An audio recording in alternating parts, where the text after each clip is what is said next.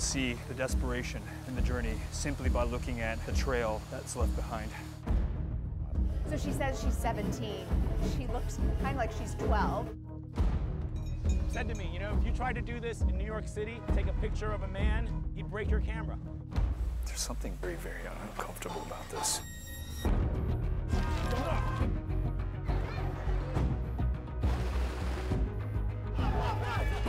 Today, white supremacist lens. This area can be the new Silicon Valley. There was not a cot in the warehouse, not one cot in the warehouse. We're so far deep at this point that there's no turning back. This is a long road ahead. Ah!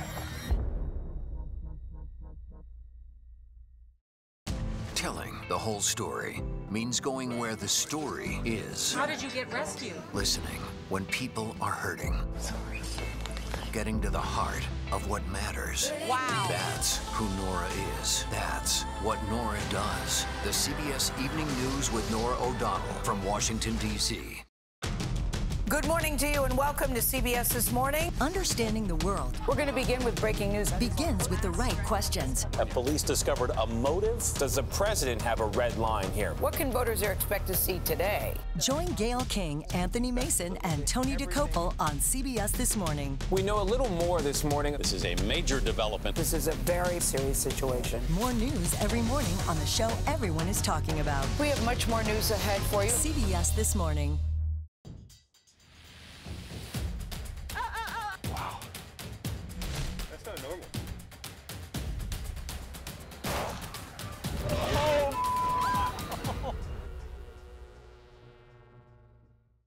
Biggest names in politics Whoa, that's news. Are we at a tipping point? face the questions you want answered.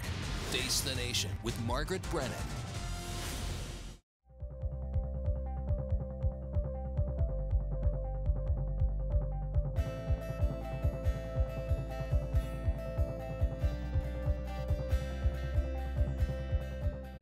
In Russia, a man was arrested for allegedly shooting and killing five people. The incident happened in the village of Yalatma. The arrest was made after the man complained to his neighbors from his balcony, asking them to quiet down. The neighbors began to argue with the man, who then shot them with his hunting rifle. The village is on lockdown due to the coronavirus. Turkey is lifting a confinement order for young workers that was imposed during the coronavirus pandemic. The exemption applies to public and private sector employees, as well as seasonal agricultural workers between the ages of 18 and 20 years old.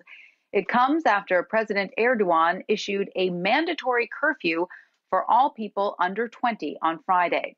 It was in addition to a stay at home order already in place for people over age 65. There are at least 25,000 confirmed cases of the virus across Turkey.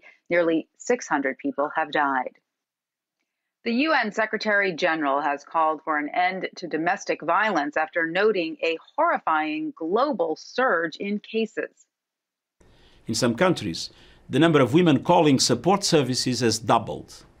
Meanwhile, healthcare providers and police are overwhelmed and understaffed. Local support groups are paralyzed or short of funds. Some domestic violence shelters are closed, others are full.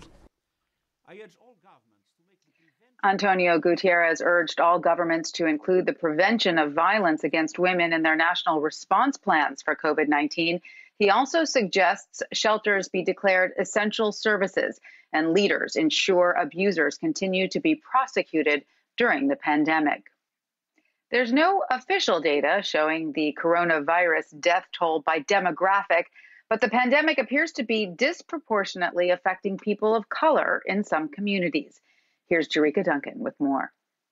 You know, we're in the middle of the storm right now. We need as much data as possible. Right now, we're flying blind. Milwaukee Health Commissioner Jeanette Kowalik is overseeing roughly a million residents in Milwaukee County. Of the 40 people who have died so far because of the coronavirus in your county, what percentage of those people are Black? Right now, it's still about 80%. African Americans make up 26% of the population? Correct. Right now, the CDC is not collecting data on the race of those who've tested positive or died from coronavirus.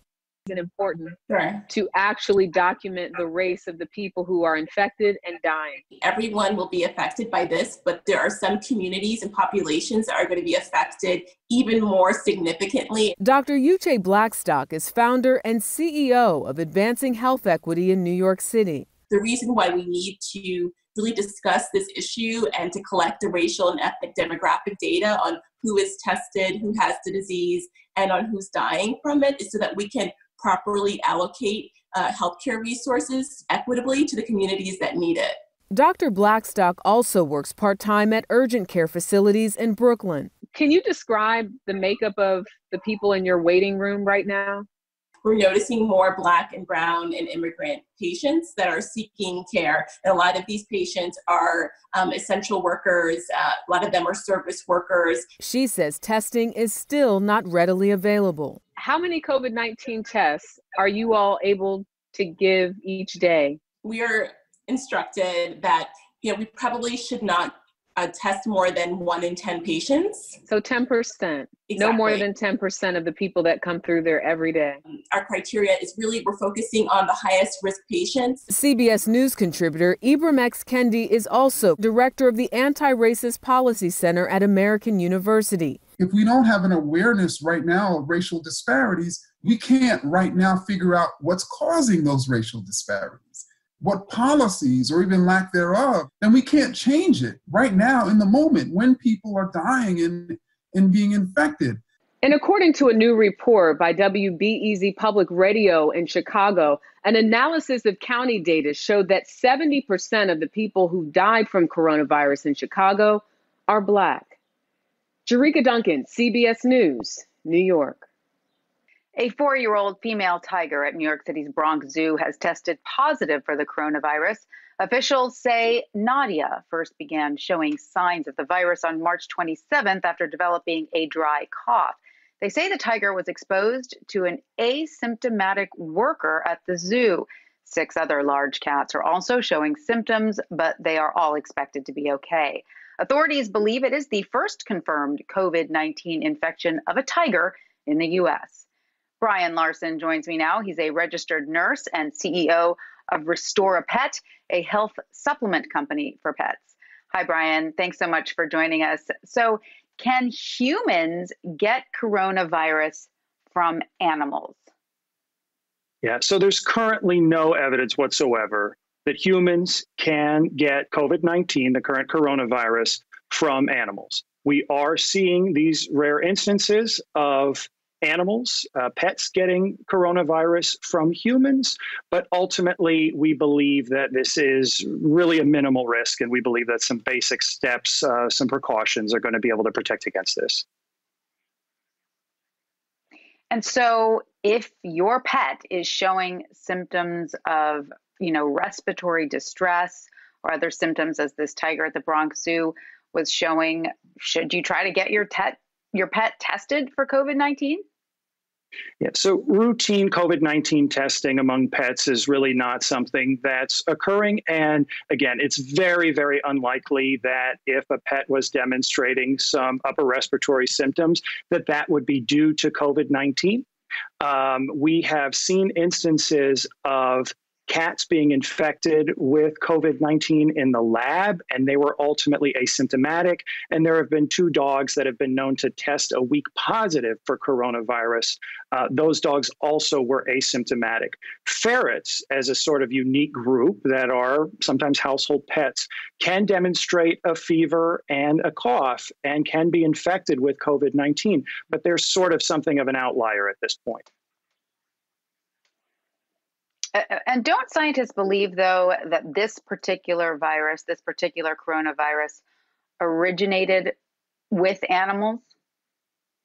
Yeah, it's it's absolutely true. So coronaviruses are unique in the fact that they have a little protein spike that ultimately is able to attach to certain cells, and that little protein um, is is rapidly mutating, and ultimately that protein was able to, we believe, go from a bat to ultimately infect a human. And that, that ACE2 protein, that protein is common among a number of pets. So that's part of the reason why you're seeing this get ultimately adopted in some pets, and those pets being infected. Um, but those pets are not symptomatic, and it's not believed that they can transmit the disease back to humans. But yes, that is what is so dangerous about COVID 19 is the fact that it is able to rapidly evolve and mutate. And so if you happen to be unlucky enough to, you know, become infected with this virus, you're quarantining yourself. Should you also quarantine yourself from your pet? Could your pet then, you know, carry some of the virus on his or her fur to other family members in your house? Absolutely. So, I mean, the, the we know that the coronavirus ultimately is able to survive on surfaces for hours to days. And if nothing else proves to be true, we know that a pet's skin and fur is ultimately a surface that can theoretically harbor COVID 19. So, if a person is infected with COVID 19 or believes they may be infected, then in the same way that they really should be quarantining from other human members of the family, they should be quarantining from their pets. And that might include having someone else provide care for the pet if at all possible. If that's not possible, then the same precautions that would be true for human to human transfer risk, uh, meaning proper hand hygiene being critical, needs to also be observed with the pet. So that means washing your hands thoroughly for at least 20 seconds, providing the necessary care, and then washing your hands again for 20 seconds before and after contact. It is such a bitter pill for a lot of quarantine people to swallow. I mean, if if they've gotten themselves shut off from the rest of their family in a basement or a room, to then not be able to get derive some comfort from the family pet on top of that, it must be so difficult. But you say with precautions, you can sort of share the pet among household members as long as you're very, very careful about it. That's right. I mean, pets are full fledged members of the family, right? We all hopefully believe that. And so ultimately, these basic precautions and this limited duration of time by which we need to observe these very stringent precautions will ultimately ensure that we're all living long, healthy lives, enjoying our pets and the other members of our family. So I'm just curious because we know that the COVID 19 test for humans is often very uncomfortable. Is it the same test when uh, you're testing an animal for this virus? Yeah, so it really depends on the animal. Um, ultimately, it is a nasal swab. Uh, they can also do oral and rectal swabs as they did in the canine examples of COVID 19. But when you think about, for example, the tiger at the Bronx Zoo, as you mentioned, there are now multiple animals that are showing symptoms of COVID 19.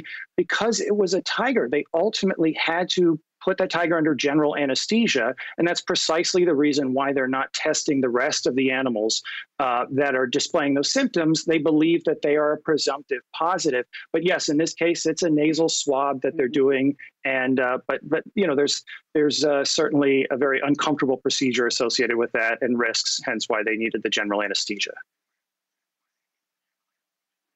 All right, interesting story. Brian Larson of Restore a Pet, thank you so much for sharing your expertise on this with us.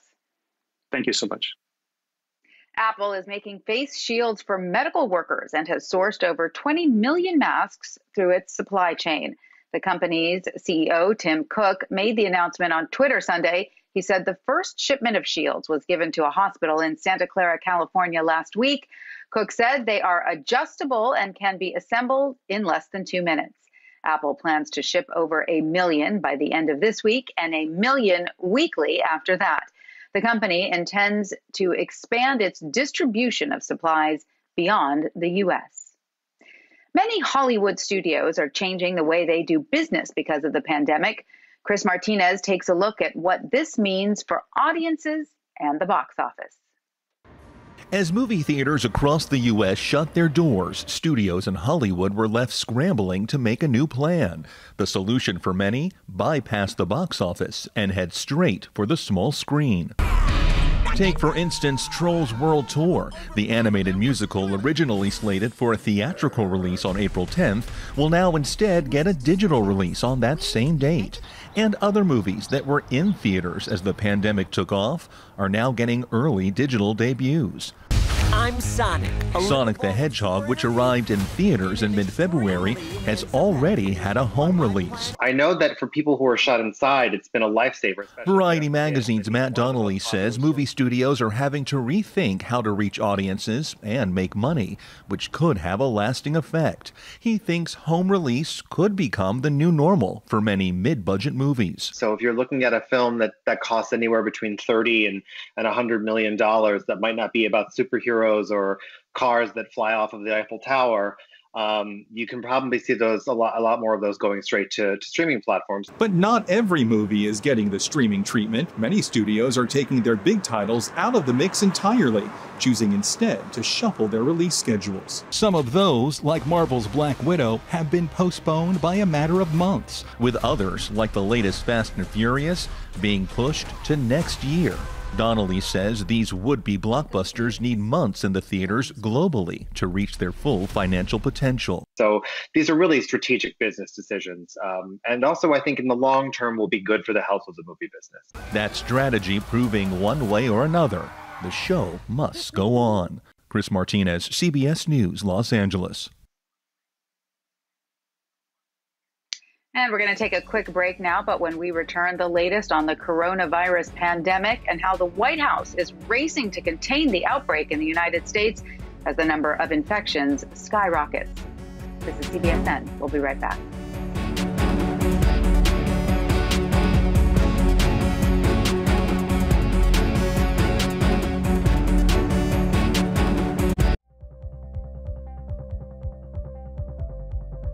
You can watch CBSN 24 7. We've got an amazing story to share with you. Let's talk about the latest developments. There's so many levels to this. We have a CBS News exclusive. Fires in California. What happens next, and how does it all play out?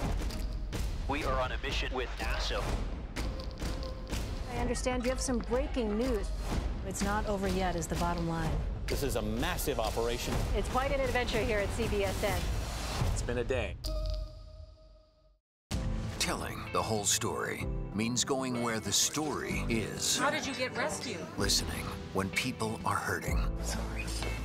Getting to the heart of what matters. Wow. That's who Norah is. That's what Norah does. The CBS Evening News with Norah O'Donnell from Washington, D.C.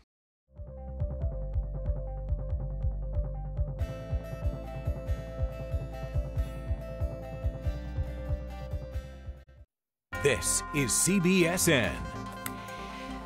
Thanks for joining us. I'm Paula Ebben. The doctors leading the nation's coronavirus response are warning this could be the worst week yet.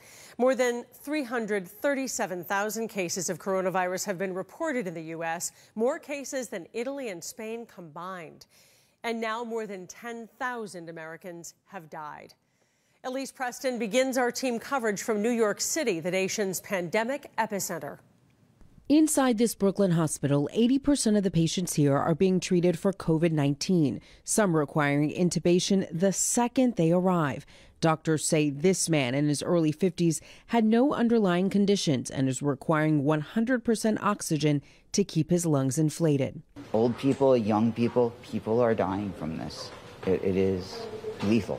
The hospital staff is not immune and in some cases not fully protected. We saw nurses wearing trash bags to protect their scrubs, use sanitizing wipes to clean themselves as they work, and a doctor wearing ski goggles. New York's governor says the state may be close to reaching its apex or may have already reached a plateau, but it is just the beginning for other states. Louisiana is expected to open a 1,000 bed makeshift hospital inside the New Orleans Convention Center, a day after the state experienced its largest single day uptick in deaths. Texas officials are now stopping people coming in from Louisiana, asking for documentation on where they're going, and if they're staying, they must self quarantine for 14 days. And in Largo, Maryland, the community is mourning 27 year old Leilani Jordan, a grocery store employee. Her mother took these photos of her daughter's hospital room before she passed away. When they got her, she had 104 fever. And they put her in isolation and she said she called me. She says, Mommy, I can barely breathe. Jordan's mother says instead of leaving work when the outbreak began, she only wanted to help people more. Elise Preston, CBS News, New York. The stock market began the week on a positive note. The Dow jumped more than 900 points after the opening bell. Right now, it is up 1,200 points. Investor confidence seemingly high today after some encouraging coronavirus data that shows a slowdown in infections. A new government report says that hospitals are overwhelmed with patients and running out of supplies. And it's not just masks and ventilators. Skyler Henry has more details from the White House. Americans are preparing for what health officials say will be a particularly deadly week in the coronavirus pandemic. The next week is going to be our Pearl Harbor moment. It's going to be our 9 11 moment.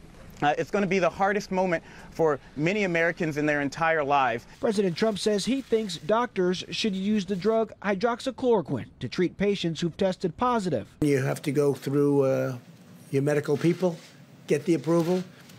Uh, but uh, I've seen things that I sort of like. So, what do I know? I'm not a doctor.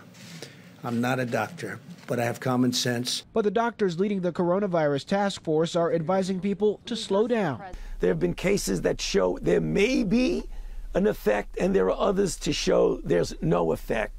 So I think in terms of science, I don't think we could definitively say it works. A new report from the Department of Health and Human Services Inspector General says hospitals across the country face dire shortages of the medical equipment needed to combat the pandemic. The report says it's not just masks and ventilators that are in short supply, it's also thermometers, disinfectants, cleaning supplies, and toilet paper. The president says the government is sending gloves, gowns, and masks to hospitals. Many more fully loaded cargo planes are right now on the way. Three big ones landed today. And these supplies are being distributed directly to the hospitals and healthcare providers all across the nation. But the report says many of the supplies already delivered were out of date or defective. And it adds hospitals reported that changing and sometimes inconsistent guidance from federal, state, and local authorities posed challenges and confused hospitals and the public. Skyler Henry, CBS News, the White House. Two New York companies are teaming up to alleviate the medical supply shortage.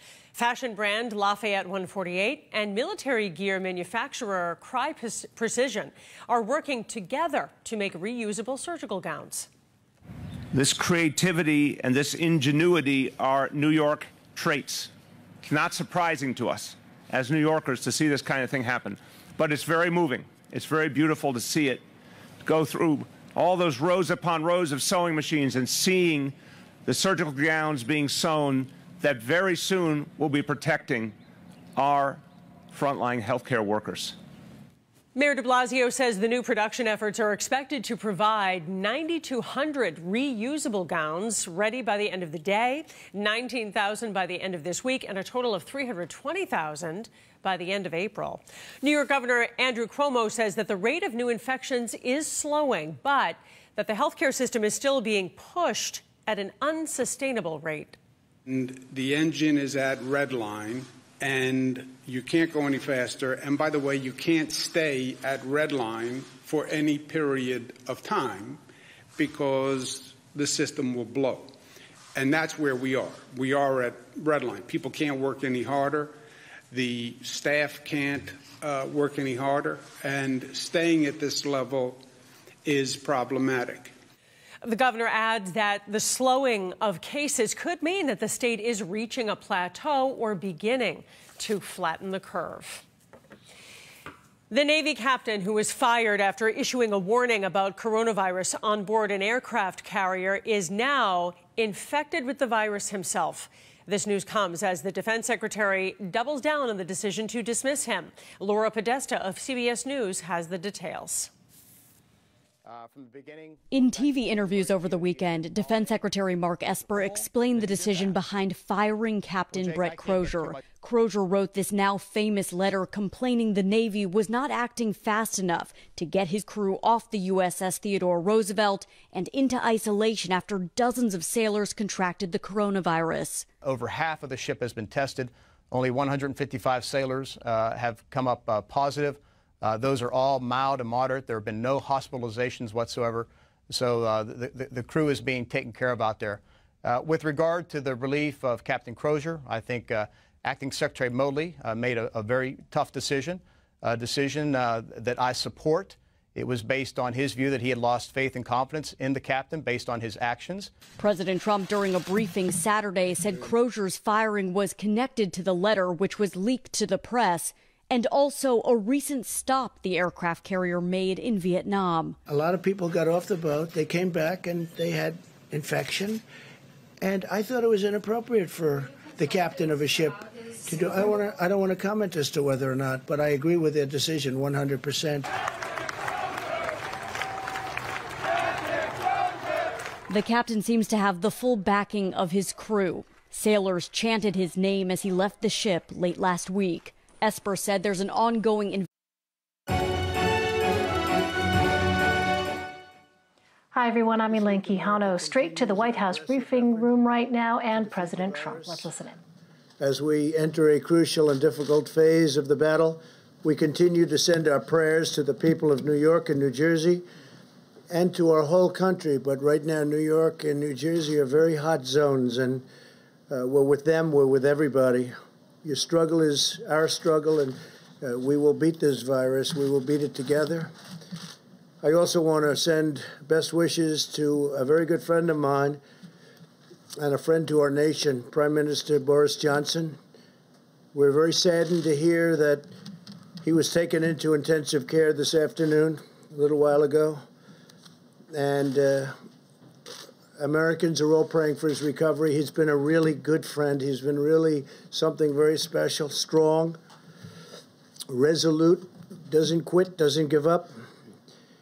Uh, we have made tremendous progress on therapeutics. I had a fantastic call today, which I'll be talking about a little bit later.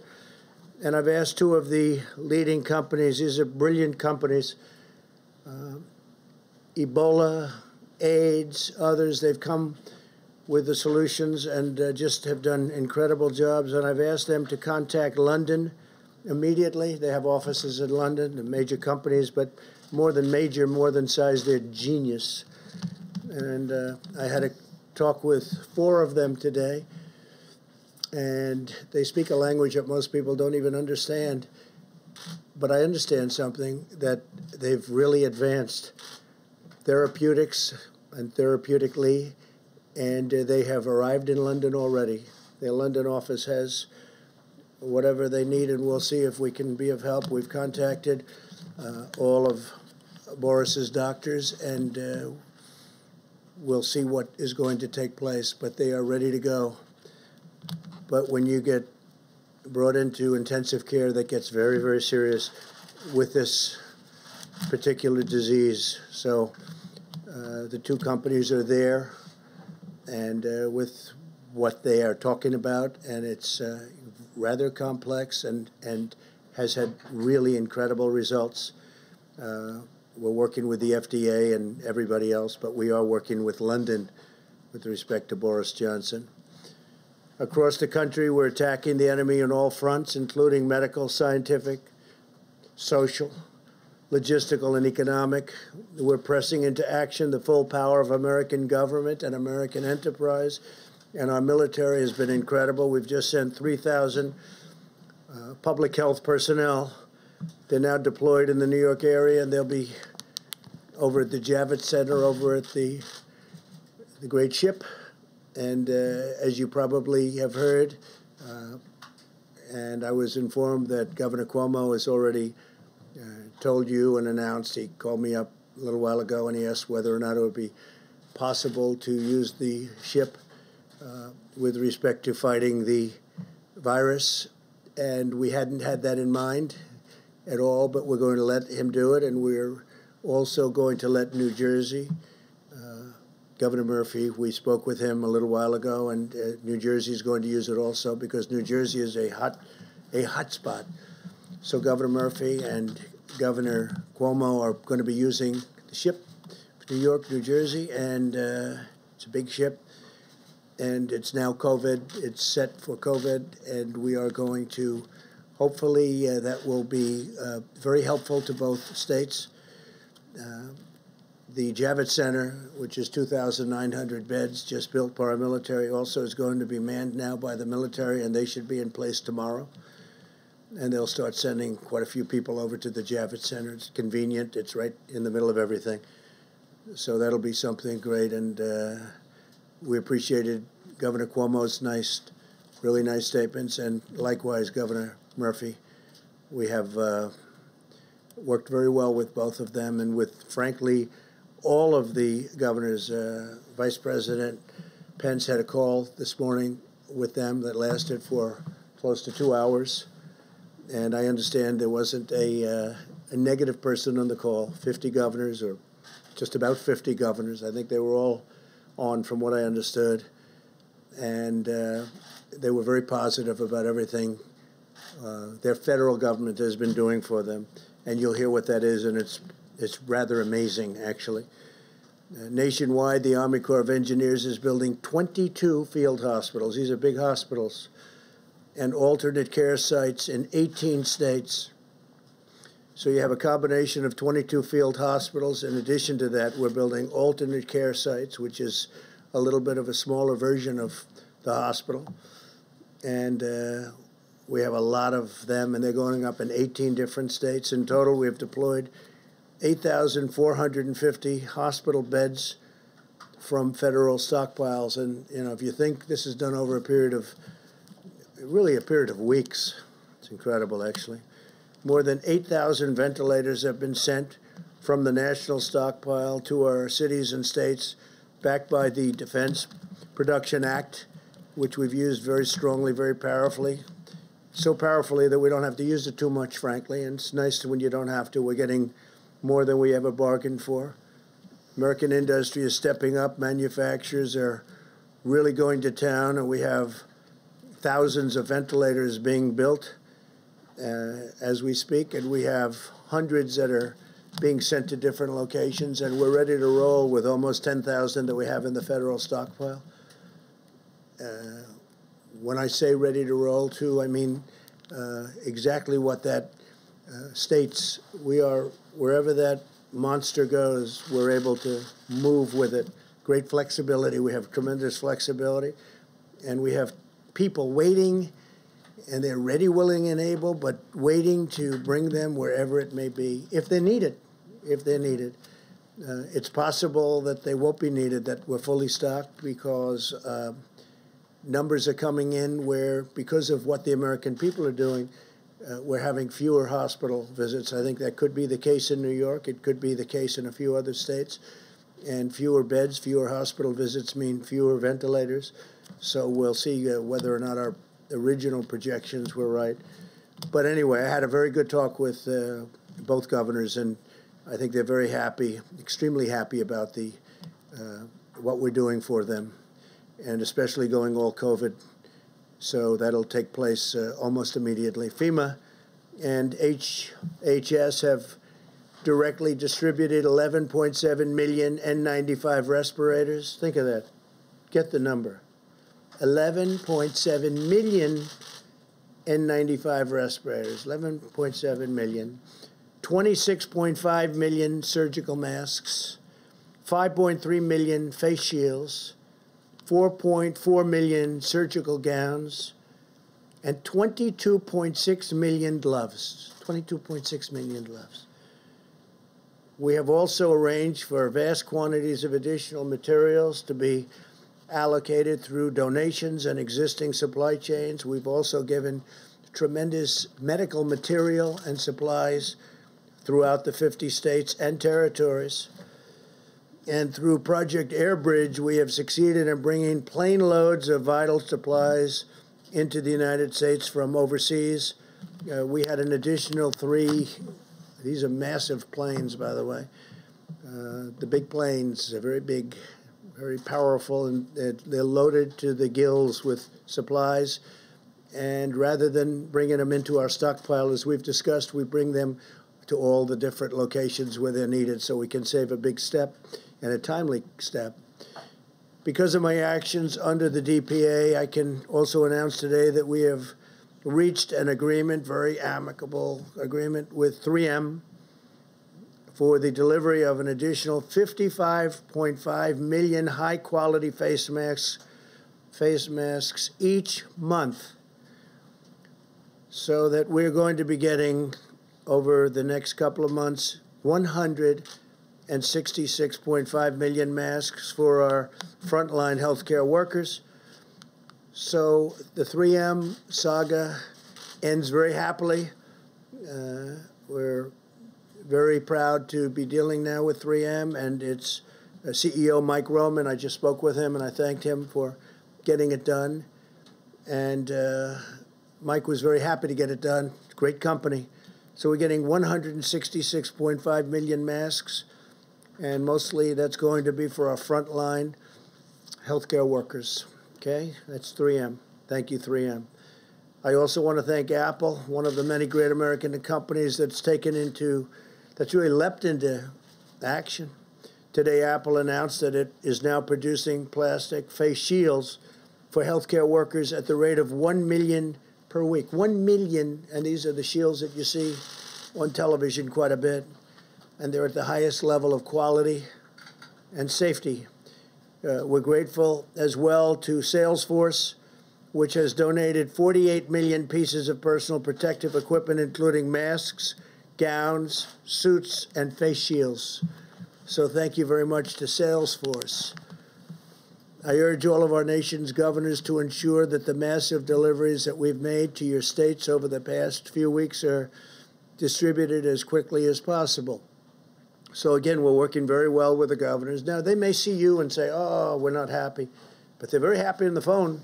And Mike Pence is a straight shooter, and he had a great phone conversation to them with all of the governors, teleconference. And uh, they're very happy, every one of them. Were there any negatives? No, sir. See? I told you. Mike is the greatest. Mike, and you have done a great job, Mike, and I appreciate it. The whole country appreciates it. Anthony appreciates it, right? Don't you? See? Everybody appreciates Mike. Special man. So, uh, a lot of the things that we've done, again, are going directly to the states. The states seem to be very happy. If they're not, they can call me directly, they can call Mike directly and we'll make them happy. But tremendous progress has been made in a very short period.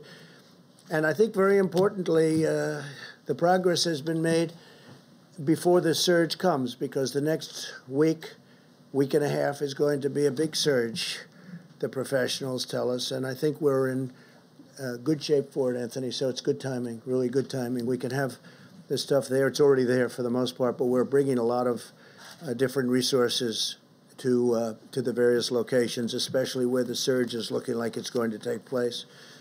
Resources from the national stockpile need to reach our warriors, and they are warriors. I tell it all the time. I saw it again this morning. These young, in many cases, many cases older, but they're walking into the hospital and they're putting on. I mean, as their doors open, they're going into this place, and you know, it's not exactly too safe.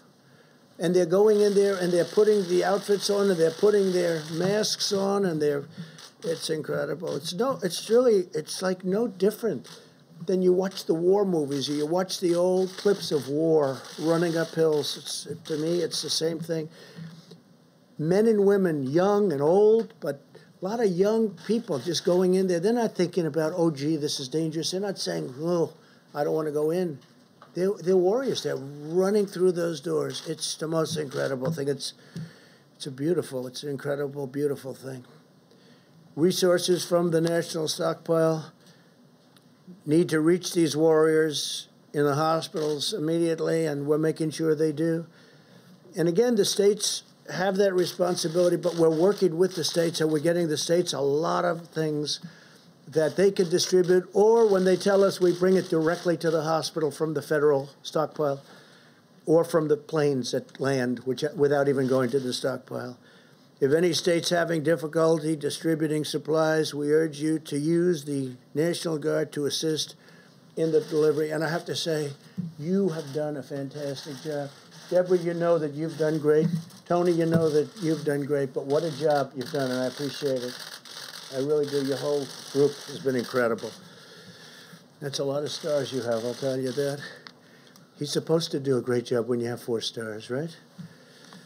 But the uh, military has been incredible, and I thank them for all of us. Conversely, if a state believes that it has surplus equipment or supplies, very important because we actually have gotten so much to some of the states that they're able to now. They've done a fantastic job and they've kept they've kept that line low. And uh, we have some states that have surplus equipment and supplies, and they're working with us to rapidly redeploy those supplies to areas of greatest need. We thought that might happen if it worked out well, that's what was going to happen, and it's happening. And I want to thank Governor Gavin Newsom, who's doing a tremendous job, who's announced California will send 500 ventilators to be distributed to other locations. I think some are going to Arizona, some are going to Washington, D.C. We think they're going to Delaware. We're working to that. but uh, 500 excess ventilators from the state of California and uh, we're going to get them taken care of wherever they have to go. Those decisions are being made right now. Uh, the members of the White House Task Force and I are in close touch with mayors and governors and hospital administrators across our country, and we're told that the present time, at the present time, most of the critical needs are are being more than met States have to continue sharing detailed information in the amount and utilization rates of medical supplies so we know what to resupply them, or they can get it directly. That includes ventilators. They can get it directly. Ideally, if they can get it directly, but if they can't, if they're unable to do it, we have uh, tremendous amounts of supplies, and we're building it up very fast, too. And this is before the big surge. This information is fundamental to our ability to deliver the material when when and where it's most needed. Uh, now, Mike, in his conversation today, I think uh, got some information as to a couple of locations where we're going to be delivering large numbers of ventilators and large numbers of uh, medical supplies, and we'll take care of that. Uh, but some of the states are uh, very happy. Even Governor Pritzker from Illinois is happy Of course, he may not be happy when he talks to the press, but he's happy. He's a very happy man. We're increasingly hopeful that the aggressive mitigation strategy we put into place will ultimately allow our hospital system to successfully manage the major influx of cases that that we have right now. Again, I, I say that uh, we're finding because of the incredible job done by the American people in conjunction with everybody governors, the military, federal government, state government, local government. I've had a lot of conversations with New York City and Mayor de Blasio. I've gotten to know him. I didn't know him. Gotten to know him. Uh, and uh, a lot of people are working hard. Everybody's working hard. A lot of people are doing a great job. I'll tell you that. A lot of people are doing a great job.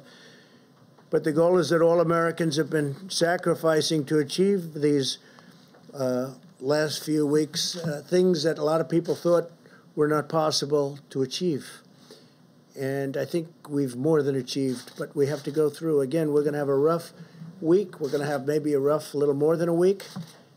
And but there's tremendous light at the end of that tunnel. I said it last time, said it last night. There's tremendous light at the end of the tunnel. There's so many things happening with therapeutics, with vaccines, with uh, things that we really want uh, Deborah, Tony, they're all working so hard on this, but those therapeutics, I mean, look, the vaccines are going to be always a little bit later because of that testing period, but the therapeutics, getting the kind of things that I heard about today, talking to these brilliant companies and brilliant people on the phone was fantastic. It was such an incredible conversation. And uh, I also spoke just a few minutes ago with Vice President, former Vice President Biden, who called, and uh, we had a really wonderful, warm conversation. It was a very nice conversation. We talked about uh, pretty much this. This is what we talked about. This is what everyone's talking about. This is what they want to talk about. And uh, he gave me his point of view, and I fully understood that. And uh, we just had a very friendly conversation. Uh, lasted probably 15 minutes and uh, it was really good. It was really good, really nice. I think it was very much so. I appreciate his calling. As we continue our efforts to develop treatments and cures this afternoon, I spoke with leaders of the American pharmaceutical companies, and just to give you their names, uh, Amgen, Genentech, Gilead, Regeneron. These are four of the greatest in the world for uh, doing exactly what they're doing. And currently, 10 different therapeutic agents are in active trials, and some are looking incredibly successful, but we have to go through a process. And it's going to be a fairly quick process, I will tell you, based on what the FDA told me. And another 15 are in plans for clinical trials.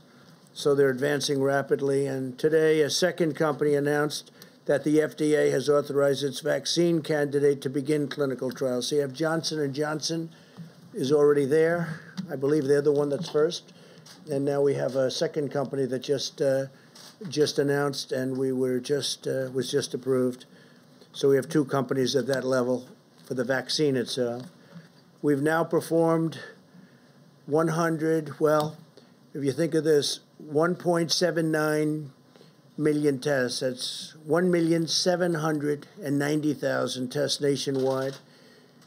And I think we're going to put up a screen here someplace that they're on cue. They're just on cue.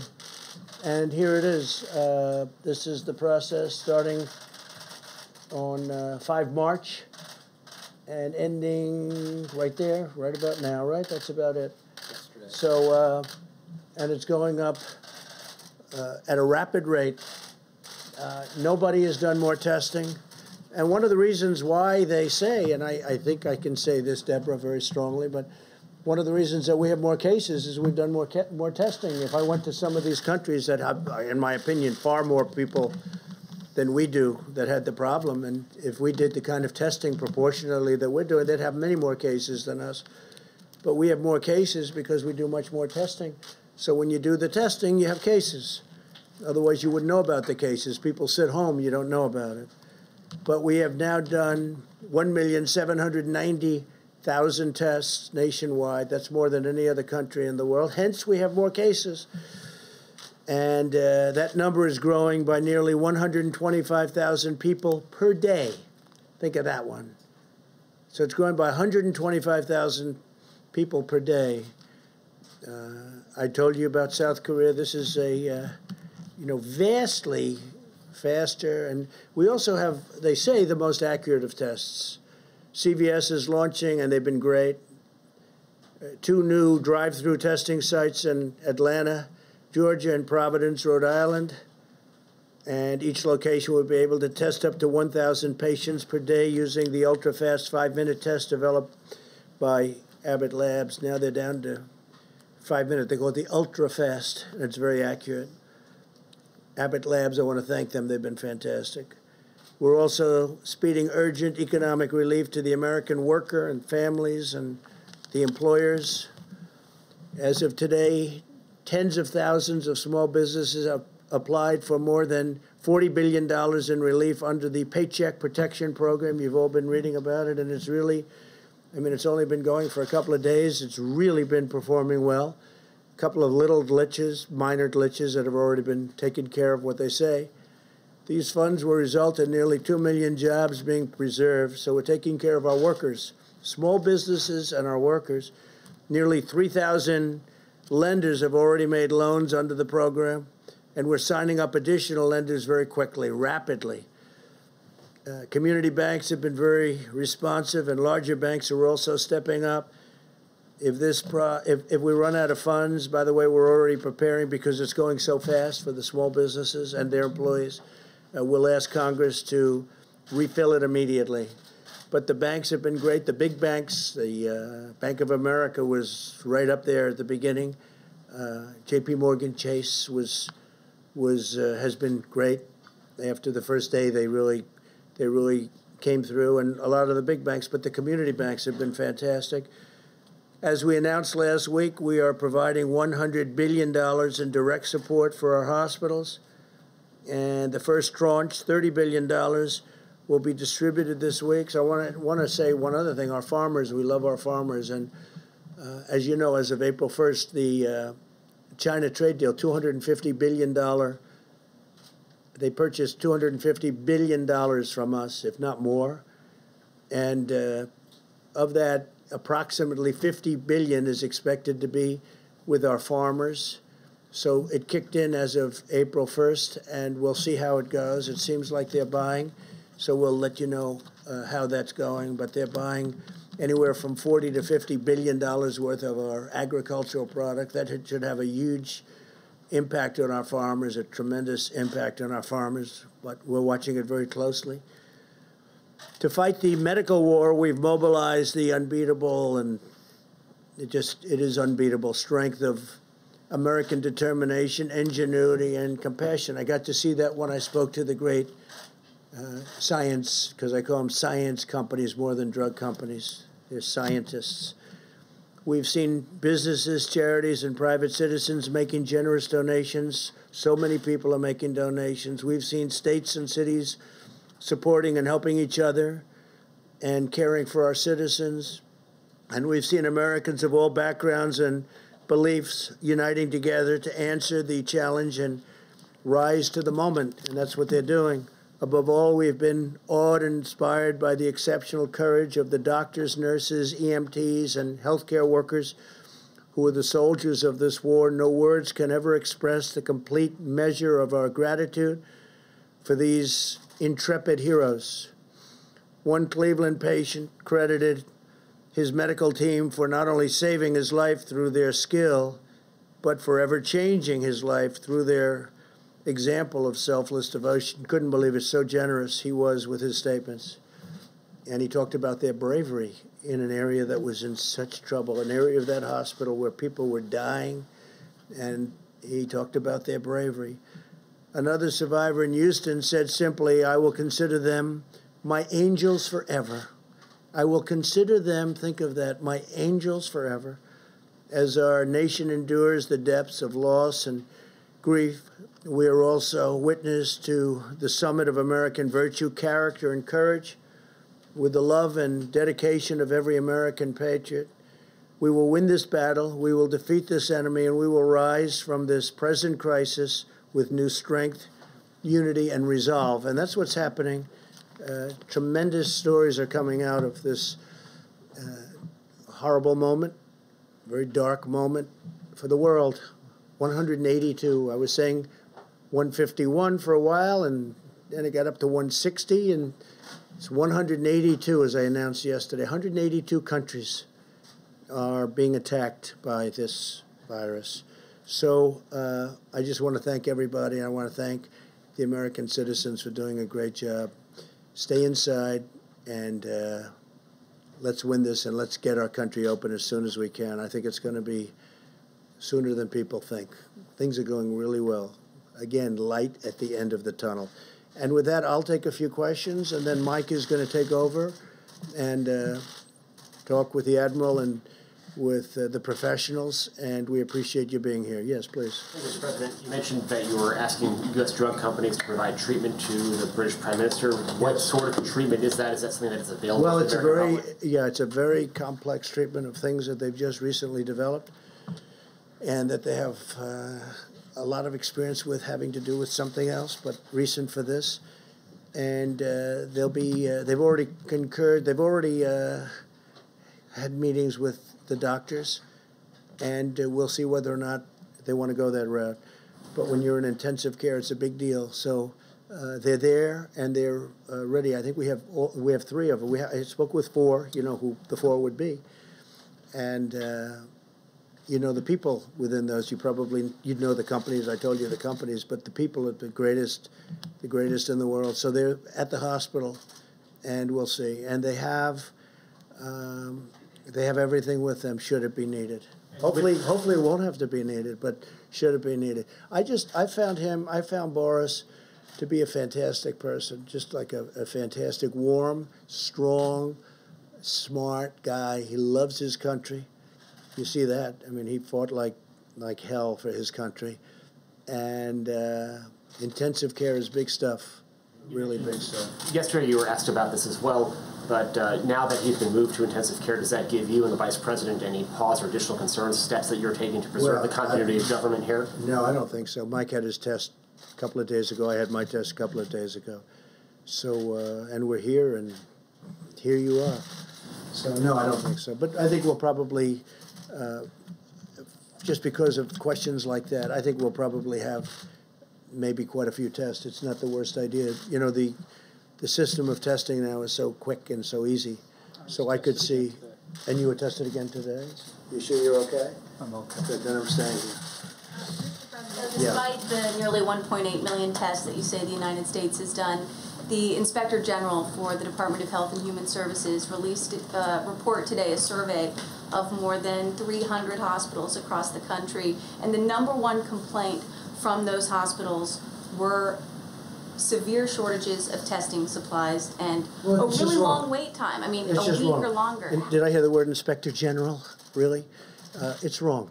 And they'll talk to you about it. It's wrong. But this is your own government. Uh, it's, well, where did he come from, the Inspector General? What's his name? It came from the Inspector no, General what's his report. Name? What's I don't know his name well, off the top of my head. Find me his name. Let me know, okay? If but, you find me his name, I'd appreciate it. But, sir, these are hospitals All I can tell you is not, this: sir, we put up on the board. You're going to ask. You're going to ask the admiral. But are we are doing. Who say that they're waiting a week or longer Fine. to get their test the results? Why but we've done more testing so and had more results than any country anywhere in the world. They're doing an incredible job. Now they're all calling us. They want our testing. What are we doing? How do you do the five minute test? How do you do the 15 minute test? So give me the name of the inspector general. Uh, could politics be entered into that? Go ahead, this please. Is our Go ahead. Thank you, sir. Um, are you worried about uh, retaliation to your decision uh, to ban export of medical goods, like Indian Prime Minister Modi's decision to not export hydro- hydroxychloroquine to the United States and other countries? I don't like that decision. If that's, I don't, I didn't hear that that was his decision. Uh, I know that he stopped it for other countries. I spoke to him yesterday. We had a very good talk, and we'll see whether or not that's his. I would be surprised if he would, you know, because India does very well with the United States. For many years, they've been uh, taking advantage of the United States on trade. So I would be surprised if that were his decision. He'd have to tell me that. I spoke to him Sunday morning, called him, and I said, We'd appreciate your allowing our supply to come out. If he doesn't allow it to come out, that would be okay. But of course, there may be retaliation. Why wouldn't there be? Yeah, please. Thank you, Mr. President. The Paycheck Protection Program has gotten off to a confusing start for small I don't businesses think so. Because well, well, well. Wells Fargo has stopped taking applications. Bank of America Not initially anymore, they pri- prioritized taking applications from clients that were already Bank of. America has So- been the leader, taking tremendous numbers of applications. And of course, there may have been, they wanted to have a slightly different application. They wanted to have a little different information. Uh, but Bank of America has been a leader. They're number one in terms of applications. I wish you'd ask the question differently. Why don't you say it's gotten off to a tremendous start, but there are some little glitches, which, by the way, have been worked out. It would be so much nicer if you do that. But you're just incapable of asking a question Sir, in a positive way. Is the federal government It's already in done. place It's already to done. ensure that there is It's taken the measures. It's taken the measures.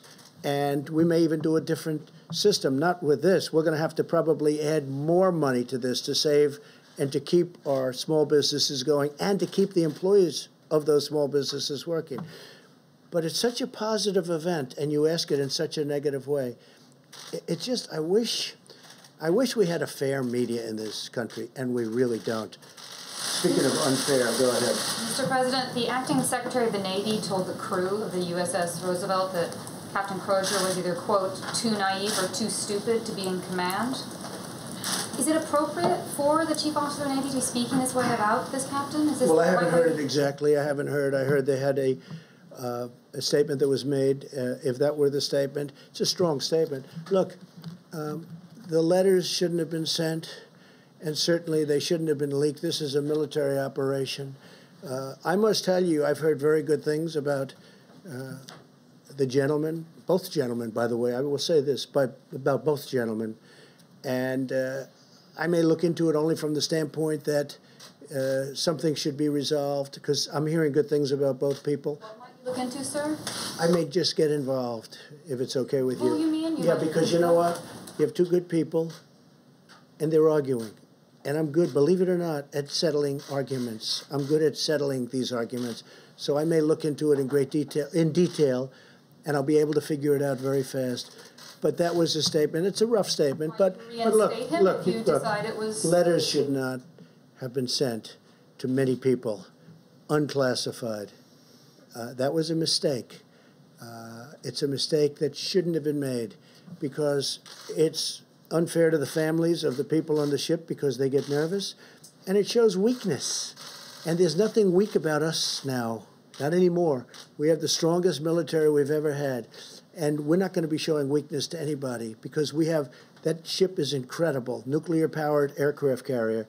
And we don't want to be doing writing letters. We don't want to have letter writing campaigns where the fake news finds a letter or gets a leak. We don't want that.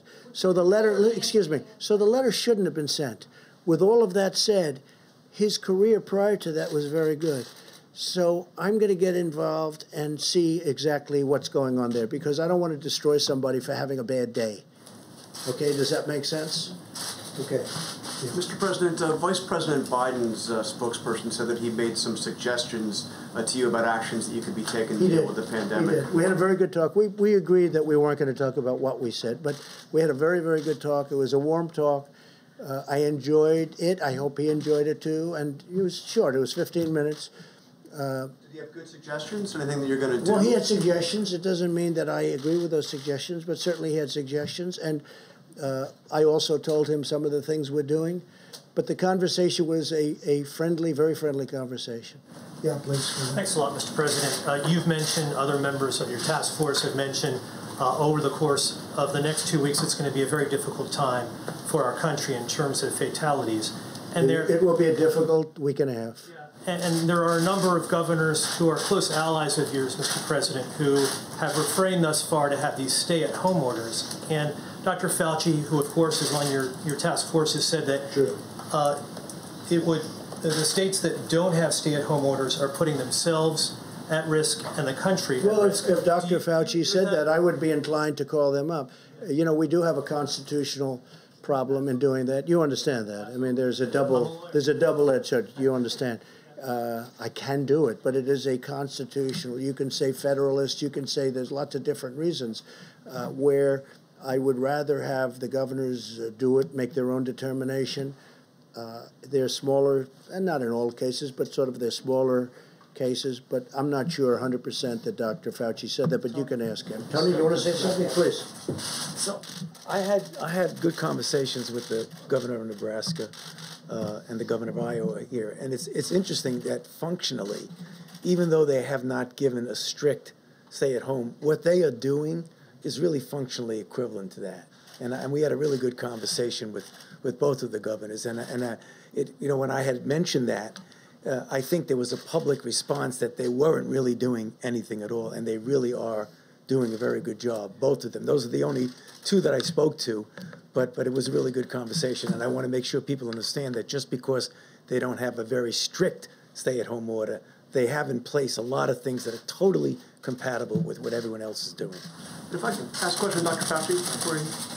Go ahead. Um, about getting back to normal, you said you wanted to get back to normal uh, as, as, soon as possible. Will we truly get back to normal in this country before there's an actual vaccine that's available to everybody? What, how, do you how do you start lifting the restrictions?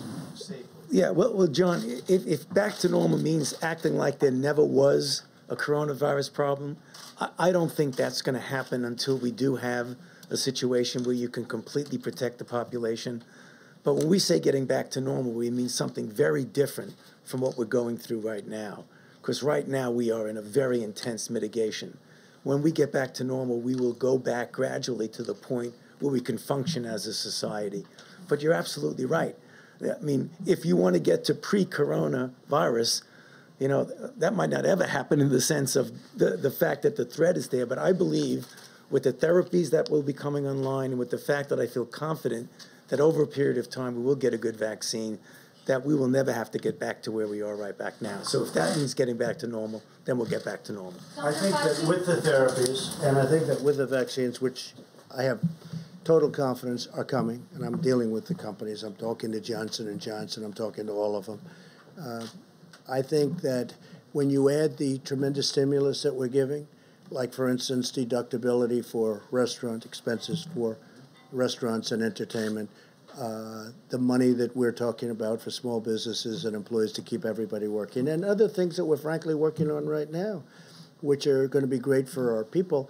I think when you add that to it, I think we could get more than back to normal from an economic standpoint, actually be better, but more than back to normal. But I, I would agree that uh, we'd love to see a vaccine, but immediately would love to see a therapeutic. And I think we're getting very close. Do you think you'll be able to lift restrictions on April 30th right now? I, I don't want to comment on that, but I can tell you that uh, we certainly want to try. We certainly want to see what, what's going on. We're doing very well. Look, you look at those, you look at most places where that, you can call it the bump, you can call it the hill, you can call it the mountain, you can call it whatever you want to do it. It's very flat. You take a look, and that was done through mitigation. That was done through a lot of good work. Um, and that far exceeded our expectations before. I mean, you people can't even believe how how low some of those bumps are, some of those hills are. They're very surprised. Now you have a couple of tough ones. New Jersey's been very tough, and New York has been very tough. Uh, they're crowded in. You know, it's tight. It's tougher, but uh, we, far exceeding uh, California. Far exceeds Washington State. Far exceeds. Um, you look at so many of these states, how well they're doing. Uh, the eight states, by the way, and I haven't spoken to the uh, governors, but Tony's so right. They may not have it uh, from the standpoint that they're saying it, but those people are practicing it, and they're doing a fantastic job. Take a look at where they are in terms of the levels, but take a look where they are. So, uh, but if I thought it, it was something that and I've looked at him, and I've looked at him very carefully. Looked at him today, looked at him yesterday. Uh, from a constitutional standpoint, I'd love not to get involved with that, and not from a legal standpoint, just from a moral constitutional standpoint. Because legally, I I can, but morally, I, you know, I believe in our Constitution much more so than most people, and I'd love to be able to let the governors do what they have to do. Uh, those states are doing a fantastic job, all eight of them. They're doing a fantastic job. So we'll see what happens. As for your question, you fully understand what I'm saying, so thank you. Yes, please. Hi, uh, two questions, if I may, one from somebody outside the room. But first, uh, um, do you think uh, Boris Johnson, when he talked about uh, shaking hands with hospital patients, did he downplay the threat of this virus too much? Um, and, and do you know exactly what his current. Well, I think Boris was looking at it differently. He was looking at it earlier. He was looking at it like uh, ride it out. There were many people thinking about riding it out, meaning, you know, whatever it is, it is. But then you see what starts to happen, and the numbers become monumental, and they decide not to do that. Uh, we actually moved early. We moved early because of what we did with respect to the ban on China coming in, and then Europe coming in. That was an early ban too, and then UK.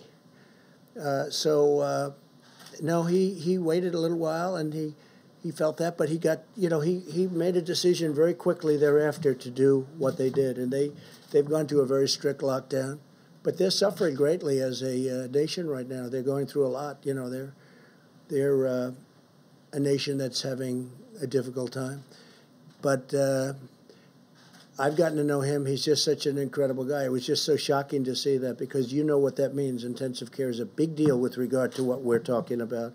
That's a very big deal, very scary deal. Yeah, please. Yeah. Just somebody who can't be in the room due to social distancing has asked me to ask a question. It's uh, Thomas Howell of the Washington Times. How many health workers in the US have become infected with COVID 19? And if the answer is not known, will the CDC be publishing that data? Yeah, I could get you that information. I think that I think they'd probably be willing to give that, right?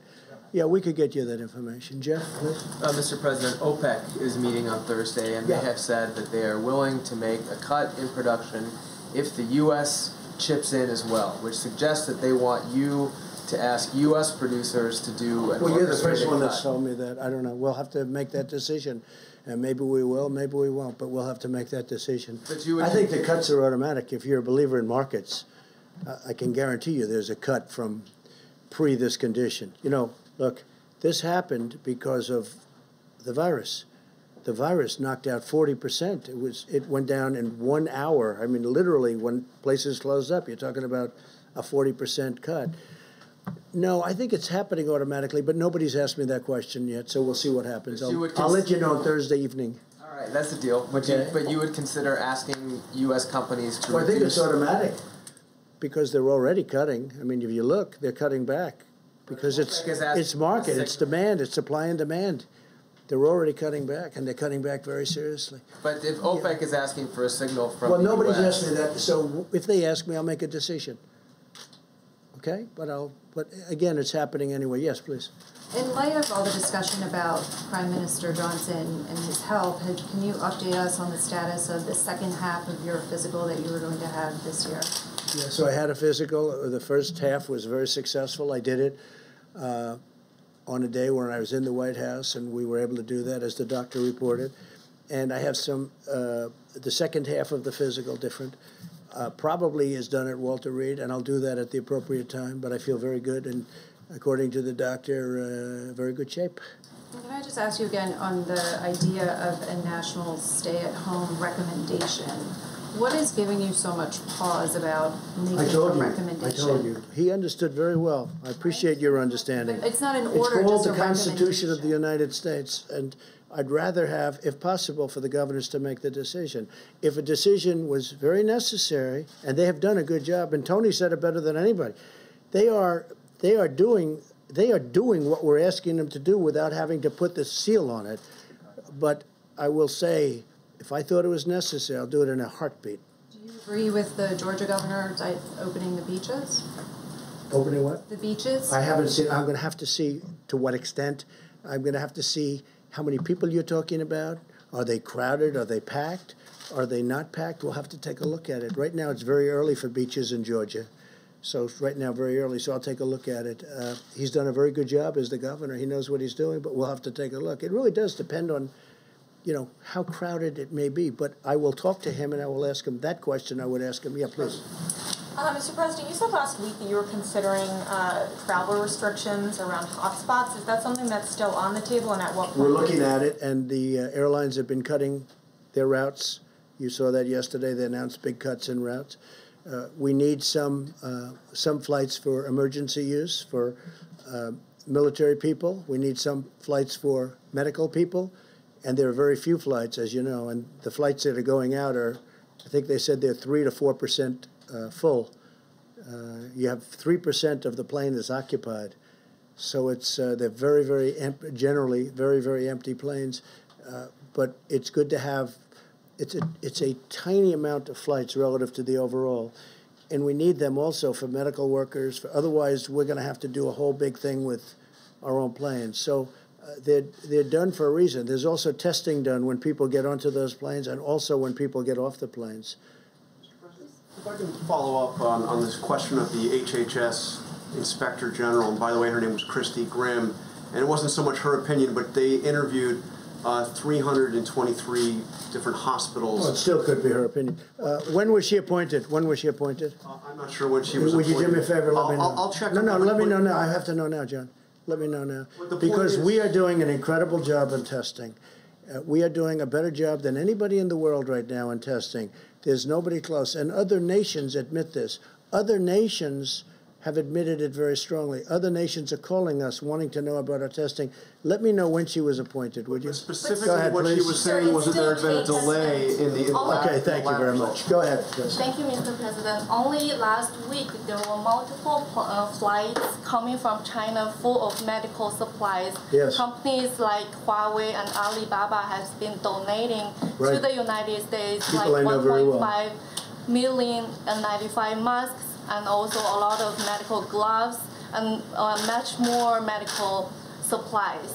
So, Sounds like a statement more than a question. And Ambassador, uh, Chinese Ambassador Cui Tiankai last night wrote an op-ed on New York Times calling to cooperation with the United States.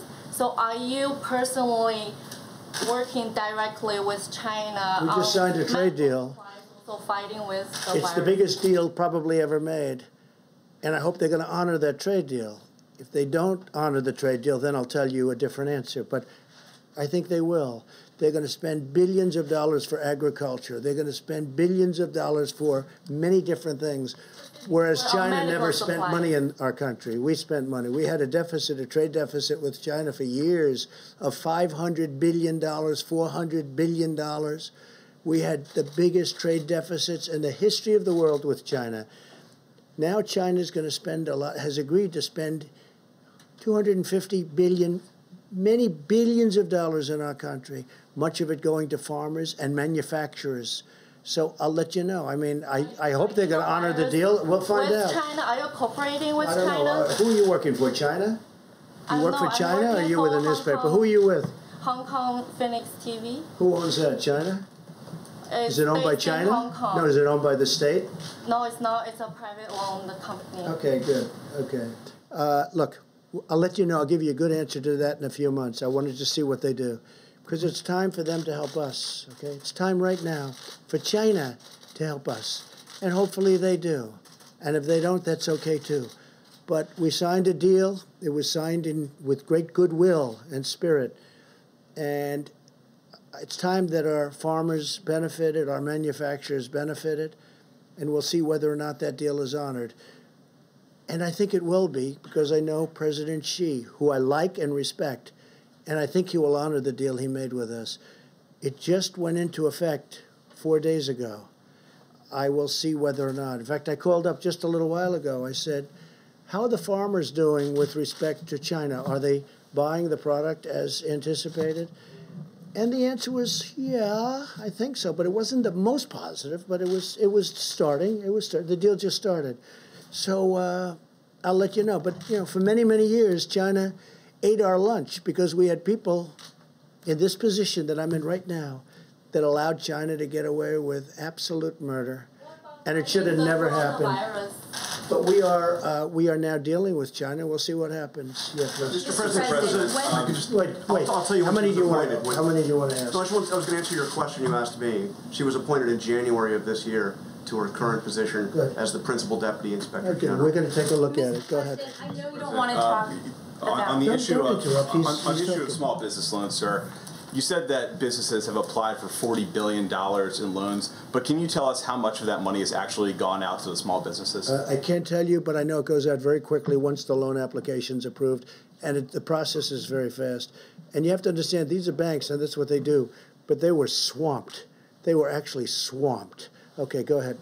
Yes. I know you don't want to talk about the Inspector General report, but testing is still a big issue in this country. What, when can hospitals Put the, put expect? the slide up again, please. When can Just put hospitals expect to receive a quick turnaround of Are you these ready? test results? Are you ready? Hospitals can do their own testing also. States can do their own testing. States are supposed to be doing testing. Hospitals are supposed to be doing testing. Do you understand that? We're the federal government. Listen to We're the federal government.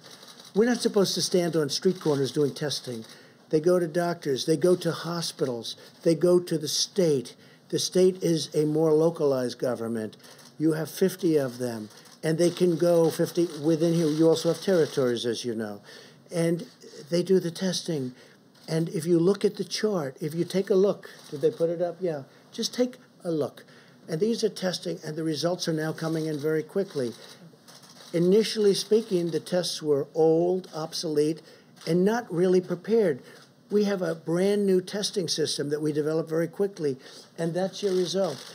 And you should say, Congratulations, great job, instead of being uh, so horrid in the way you ask a question. Please go ahead. Mr. President, today. Yeah, I'd love to have the Admiral speak to that question. Yes, it's a great idea.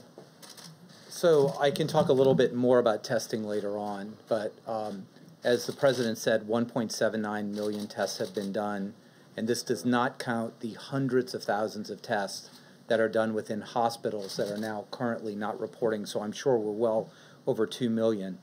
Um, that Inspector General report was done here, 23rd, 24th, during our ramp up period, um, quite a long time ago. Uh, there was clearly, and it's hard to interpret the report because it mixes up all kinds of things, but clearly um, there was complaints by some hospitals of a backlog, probably at send out tests. And, and that is true. There was several days of backlog at some of the major labs that have been taken care of. We know now that the ACLA labs now have a 24 to 48 hour turnaround. They're doing well over 100,000 tests a day. We now have the Abbott machine that's point of care. That's 18,000 of those instruments throughout the country. The Cepheid machine is now uh, all across the country with a 45 minute turnaround. Um, so um, we have worked directly with many of the hospitals uh, that have their own laboratory derived tests. Um, some of those, uh, really, quite frankly, didn't understand the regulatory freedom they have to use other uh, different kinds of instruments or different kinds of reagents.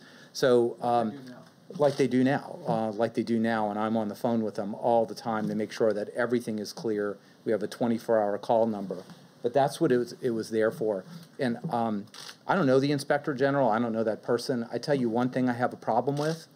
If there was such a problem that she knew about or he knew about on March 23rd and 24th, why did I find out about the tests from them on the on the news media at eight o'clock this morning?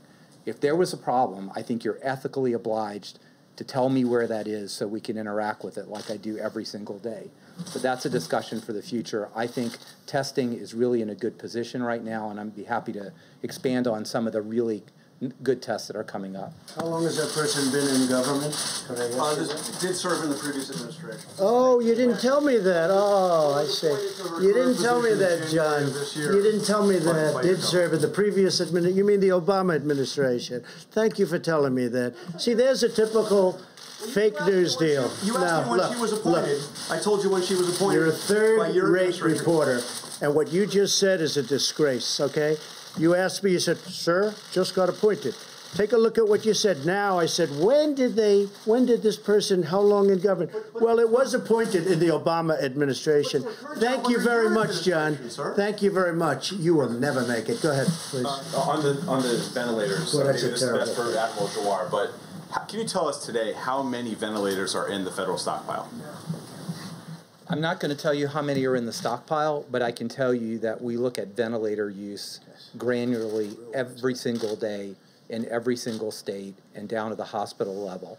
So we have been able to meet and easily meet all the ventilator requirements that have been brought us to us by the state. No one eh, has not gotten a ventilator that needs a ventilator. And as far as we can project, looking at all models, every person who needs a ventilator will get a ventilator. I'm a ventilator doc, right? I'm an ICU physician for children. Spent every day of my life managing people on ventilators. This is my community. It's also the Surgeon General's community as an anesthesiologist. So what we have in the stockpile, I think, is not a number that we, we give out, but we have thousands remaining in the stockpile. And now you're seeing out of the, out of the appropriate American spirit that when a state like Washington or uh, California doesn't need that ventilator, they're doing the right thing by moving them around the country. It's about 9,000, just so you understand. That's right. It's about 9,000. And by the way, you didn't tell me also that this Inspector General came out of the Obama administration. You didn't tell me that either. Okay, please, go ahead. Uh, I'm, Go ahead. I'm looking, sir, just quickly here, I'm looking at the, this Inspector General's bio. She appears to have served in government since 1999, but I was hoping to ask you about uh, that your call with uh, former Vice President Joe Biden. Is there something that you learned on that phone call, and has that changed your No, I opinion? understood his views before the call. Has that changed your opinion about speaking to people I like just think he's a very nice, I think he's a nice man. I've always thought he was a nice man. I've, I don't know him. I don't know if I ever spoke to him before, other than to say hello. Uh, But I think he's a nice man. We had a very nice call. Do you want to seek now the counsel of some of your predecessors, George Bush, No, but we Obama? may, no, not really. Uh, we may, we're doing a great job. Hey, I inherited, we, this administration, we inherited a broken system, both militarily, where we've rebuilt our military, where we now have so much ammunition, where, as you remember, a very important general said, Sir, we have no ammunition. They want to save money on ammunition. They didn't want to save money because they spent money like nobody ever spent money. But you know what? Uh, we now have a great military rebuilt, and we have so much ammunition, we don't know what to do with it, okay? And that's a nice feeling to have. But they also gave us empty cupboards. The cupboard was bare. You've heard the expression? The cupboard was bare. So we took over a stockpile where the cupboard was bare and where the testing system was broken and old. And we redid it. And frankly, it would be okay for a small event, but not for a big event. And they had a chance to do it. Somebody said that uh, a certain person, I won't tell you, but a certain person said this will happen. Uh, and that's true. The problem is that person never did anything about it. Previous administrations, in previous, they never did anything about it. You know, we all know all about pandemics and all of the things that we're seeing now, but nobody thought it was going to happen. And if we did think it was going to happen, the problem is nobody did anything about it. We did. We have rebuilt the system, and now we're a fine-tuned machine. We built thousands of hotel beds for New York. We moved a ship in that now we're going to make for COVID, COVID 19. We are going to make it so that people having this horrible thing happen to them will be able to use the ship. The ship, as I said, is going to be shared with New Jersey, New York, and New Jersey. We've done things that are incredible. When you build, what was it, 18 hospitals? We built 18 hospitals. We built medical centers all over the country. Uh, and when you have Gavin Newsom and other uh, governors who really have been very nice and generous in their statements, because they make the statements to the press, not just to my face. Others tell us how great we're doing, like the call that Mike had today. I heard from other people that were on the call. He said it was incredible. It was two hours, and it was everything was positive. They were so happy with what we've done, and we're ready to do more if they need it because we're ready to march. Uh, the admiral can tell you we are sitting there with 9,000 ventilators, and we're ready to march when we see that we can move very quickly. As soon as we see that need, we can move very quickly. We're ready to march. We built a great system. The problem is the Democrats, like a guy like Chuck Schumer, is a total lightweight, by the way. I've known him for a long time. He'll say, Why don't you put a military man in charge? Military man? I have all military men.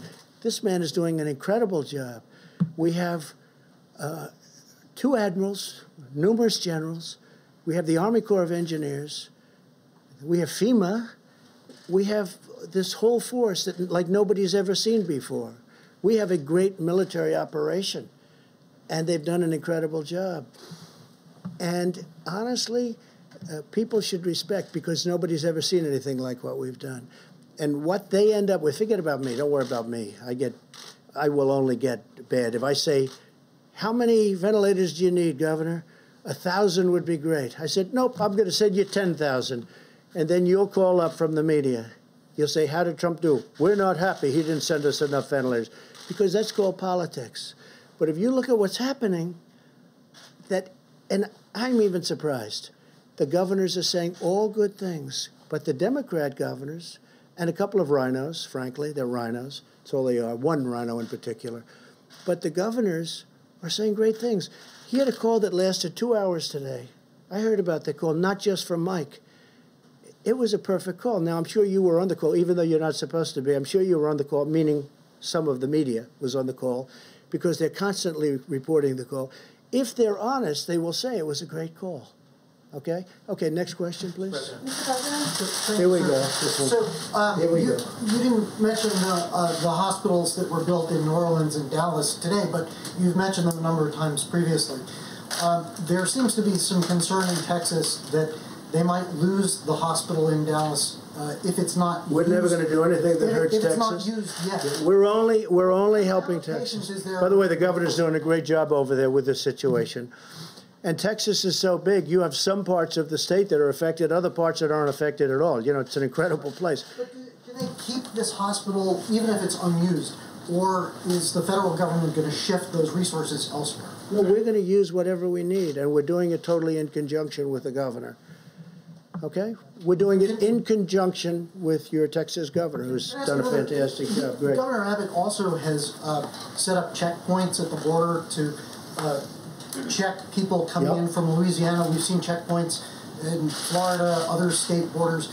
Americans Very really- few people are coming through our border, and you'll be happy to know we're up to mile 161 of the wall. internal borders between states. Oh, I see, Americans okay. are not But on the border between Mexico, we have 161 miles of wall. about internal borders. Okay. Americans don't. They're not used to seeing border checkpoints between states. How much longer? And is that something that Well, I states mean, have to deal with you? First, you want us to call eight governors and tell them to do something. And then you're complaining that another governor is so strict that he actually checks the borders. I understand why he's doing that because he, he knows who he has and he doesn't want people coming in if they should maybe, you know, not be to, to the liking of the doctors. No, I think it's, look, he's done a great job. He's done a great job with this case, as have many other governors, but he's done a great job. Uh, one of the things I thought you were going to say is we've been very tough on our southern border, as you know, very, very tough. And part of that's because of the fact that we have so much, you know, when you talk about 160 miles of new wall, nobody's coming through that. Nobody, not even close. And uh, we're building it rapidly. We will have early next year we'll have close to 500 miles of wall, which is what our goal was. You mentioned uh, Senator uh, Schumer just a moment ago. He had a conference call today, and he said that he believes that a COVID 4 relief bill will be necessary. Do you share that belief, and what would be contained in such I, a don't bill? know necessarily, but I certainly want to listen. And what I want to do is two things a real infrastructure, not a Green New Deal, you know, the carbon footprint. I'm not looking for the carbon footprint. We want to put people to work. But a real, and frankly, for so many years, we've let our infrastructure go to hell because we were wasting all our money in the Middle East and other places, okay? I want to rebuild our country. I don't want to rebuild. We're tired. We've, built, we've rebuilt, if you call it that. We're destroyed, frankly. What we've done is so crazy. What we have done, the direction that this country has taken, is so sad. But we're in the Middle East for $8 trillion. And if you want to fix a pothole in a highway, you can't do it because they don't want to give you the funds. So we want to have an infrastructure bill, a real one, like in the vicinity of $2 trillion to completely rebuild our roads, our bridges, our highways, our, our tunnels, everything. Uh, and I'm totally open to listening to that. I'm also open to listening to and, and even uh, putting forward, because we're going to be putting something forward, more money for our citizens because they've gone through trauma. This has been trauma. This came out of nowhere. When, and I say it, and I'll say it again. We had the greatest economy in the history of the world. We had the most people working in the history of our country, almost 160 million people, far more than ever before. And then one day, our professionals correctly came to us and they said, Sorry, sir, we have to close down our country. And I said, Say it again. Say it again. We have to close down our country. And the entire world closed down because of this hidden enemy. No, we, uh, we're going to take good care of our people. It was not their fault. Uh, Dr. Birx to clarify something that she said on Saturday, sir. Yes, please. May I ask Dr. Birx to clarify something that uh, she said on Saturday?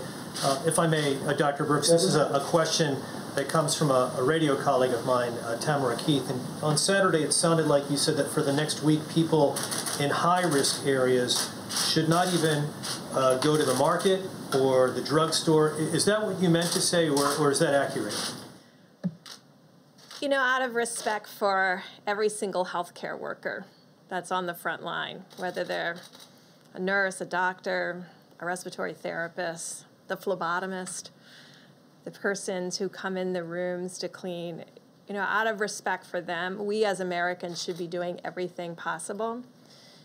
And what I meant was if you can consolidate, if you can send one person, the entire family doesn't need to go out on these occasions.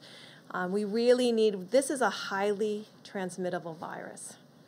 Um, we've been saying that we want every American to know that what they're doing is making a difference, but we need to have solidarity of commitment from everyone um, to really, so, you know, maybe once every two weeks we can do a grocery store and pharmacy shop for the entire family. So it was really about we have to do everything we can. I know I see on the TV stations the level of human suffering in the hospitals. Um, Dr. Fauci and I and Admiral Giroir have spent our lives taking care of others. We need to take care of each other now as Americans and do everything that's in those guidelines. And I know they're tough. I know incredibly how tough they are. My grandchild of 10 months got a fever of 105 this weekend. I'm the doctor, and I couldn't get there. I mean, so I'm trying to explain to my daughter how to listen to her lungs, how to listen to her lungs So and then the baby's get there. lungs. You did not get there? I did not go there. Good, I'm very happy that. because of you two. I mean, when you you can't you can't take that kind of risk with the leaders of the country. Your grandson's okay? Daughter, but she's um, That's a lot out of temperature, yes. But you know, we're all, and that's just an illustration that I know you all are making sacrifices, and I guess I want everyone to take this seriously. So that was really a call of seriousness of how important this is and how we're starting to see the impact, but you can see what can happen when you come at this a little bit too late. And that's why the message before you see it, before you have to see your hospitals and your emergency rooms overwhelmed, it is on us. As a member of this community, of this country, to do everything possible to save one another. And so that was really what I was saying, and I will continue to say that because I do believe it's making a difference. You can start to see it making a difference, but we have to do even more right now because that will predict where we are two or three weeks from now. Thank you, Deborah. And it is making a big difference. I saw where Governor Cuomo was a little bit upset today over the weekend. A lot of people outside, and they were uh, they were uh, pretty gr- big groups of people. I saw that. I noticed that, and he wasn't happy with that. And I could understand that. Look, we have a period, a short period of time. Hopefully, it's a short period of time to go, and let's get it done. Let's get it done. Kristen, did you have a question? Yes, I did. Thank You're you. so quick quiet follow to just got here. Apologies. Because you have your own show. Um, no. Quick follow to the question about legislation. I know there's discussion about a phase four, Yeah. but are you also looking seriously at a second round of direct payments? And are you putting discussions on a potential phase four on hold for now while you pursue that? Well, I was opposed to the way of distribution, money distribution, through, as you know, unemployment and through the state offices because they have very old, not all of them, but many of them have 40 year old equipment, as I've said, and it makes it very difficult.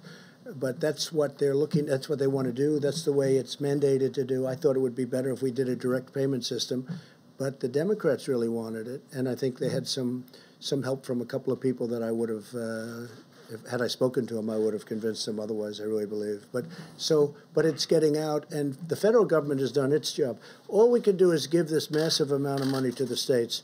The states then are responsible to distribute it, a little bit like we're talking about here.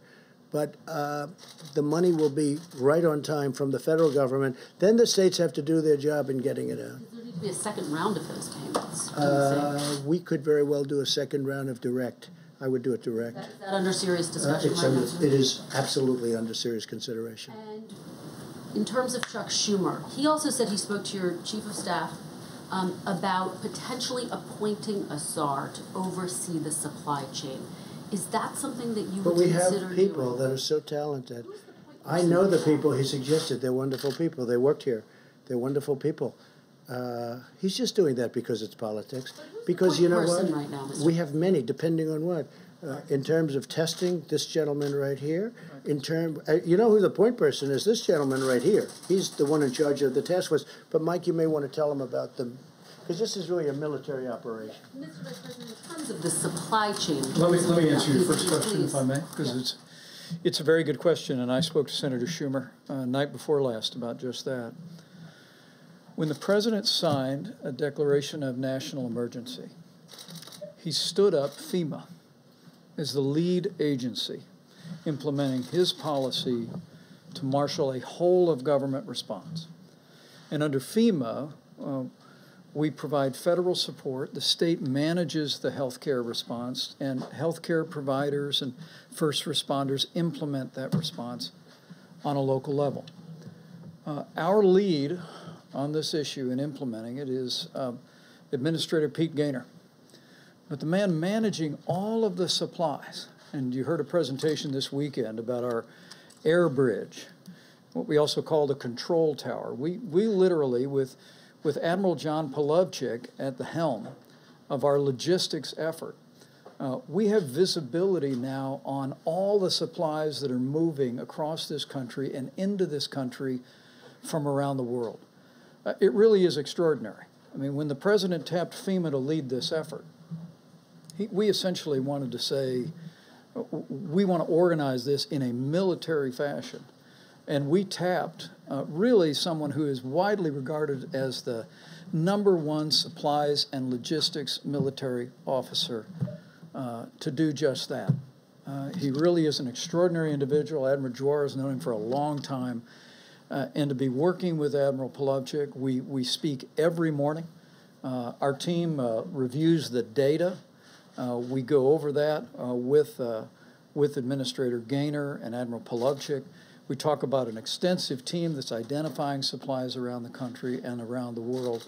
And then, as we were explaining to governors today, uh, we work with the requests that are coming in from states with a priority on the areas that are dealing with widespread outbreak, like the, the greater New York City area, New Jersey, Louisiana, uh, focus on Detroit, focus on Chicago and Illinois. Um, and then what, what Pete Gaynor and Admiral Polowczyk are doing is directing those commercial distributors to send the resources directly to the front lines of the battle against the coronavirus. Uh, it, it is an extraordinary system. And as I explained um, to the governors today, as, as I've explained to congressional leaders, uh, who've made a what I think is a, is a, a good faith recommendation uh, that we have a, that we organize this in a manner of military logistics. It's exactly what President Trump has done, and it's what we're doing every single day to make sure that healthcare workers, to make sure that the states that are dealing with a widespread outbreak of coronavirus can be confident that we're going to spare no expense, leave no stone unturned, and use this extraordinary apparatus centered in FEMA to get the people of our country what they need when they need it to battle the coronavirus. And Kristen, when Schumer makes a statement like that, he's only doing it for politics. He knows. We have the best generals, the best admirals, we have the best people. These are incredible leaders. These are vibrant people. They've done such a good job. And again, you'll get a tape of the conversation because I'm sure some of the governors probably had their favorite reporter listening to the conversation, even though they weren't supposed to, but that's happened before. Just so you understand, uh, we had a call today that was a beautiful call, everybody friendly, everybody happy. They also know in some cases we'll get them a little bit more, and if they need it, we'll get them a lot more depending on where this monster is going. But when Schumer does, does that, uh, well, take a look. Take a look at the past. Fair, well, you know, you're going to have to tell me who. That, that. They certainly don't. Well, yeah, some Democrats because they view this as a campaign issue. They want to make Trump look as bad as they can because they want to try and win an election that they shouldn't be allowed to win, based on the fact that we have done a great job. We built the greatest economy in the world. I'll do it a second time. We got artificially stopped by a virus that nobody ever thought possible. And we've handled it, and we've built a team, and we've built an apparatus that's been unbelievable. Take a look at the swine flu, right? That's H1N1. Take a look at that. And it's not the other way around, by the way. It's H1N1. Take a look. you know what I mean by that. Take a look at the swine flu.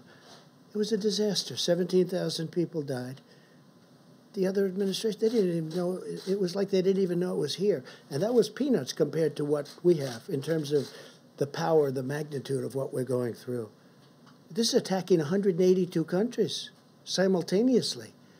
So Schumer's just all about politics. I've known him almost all of my adult life. And he's, he's a disgrace. In many ways, he's a disgrace.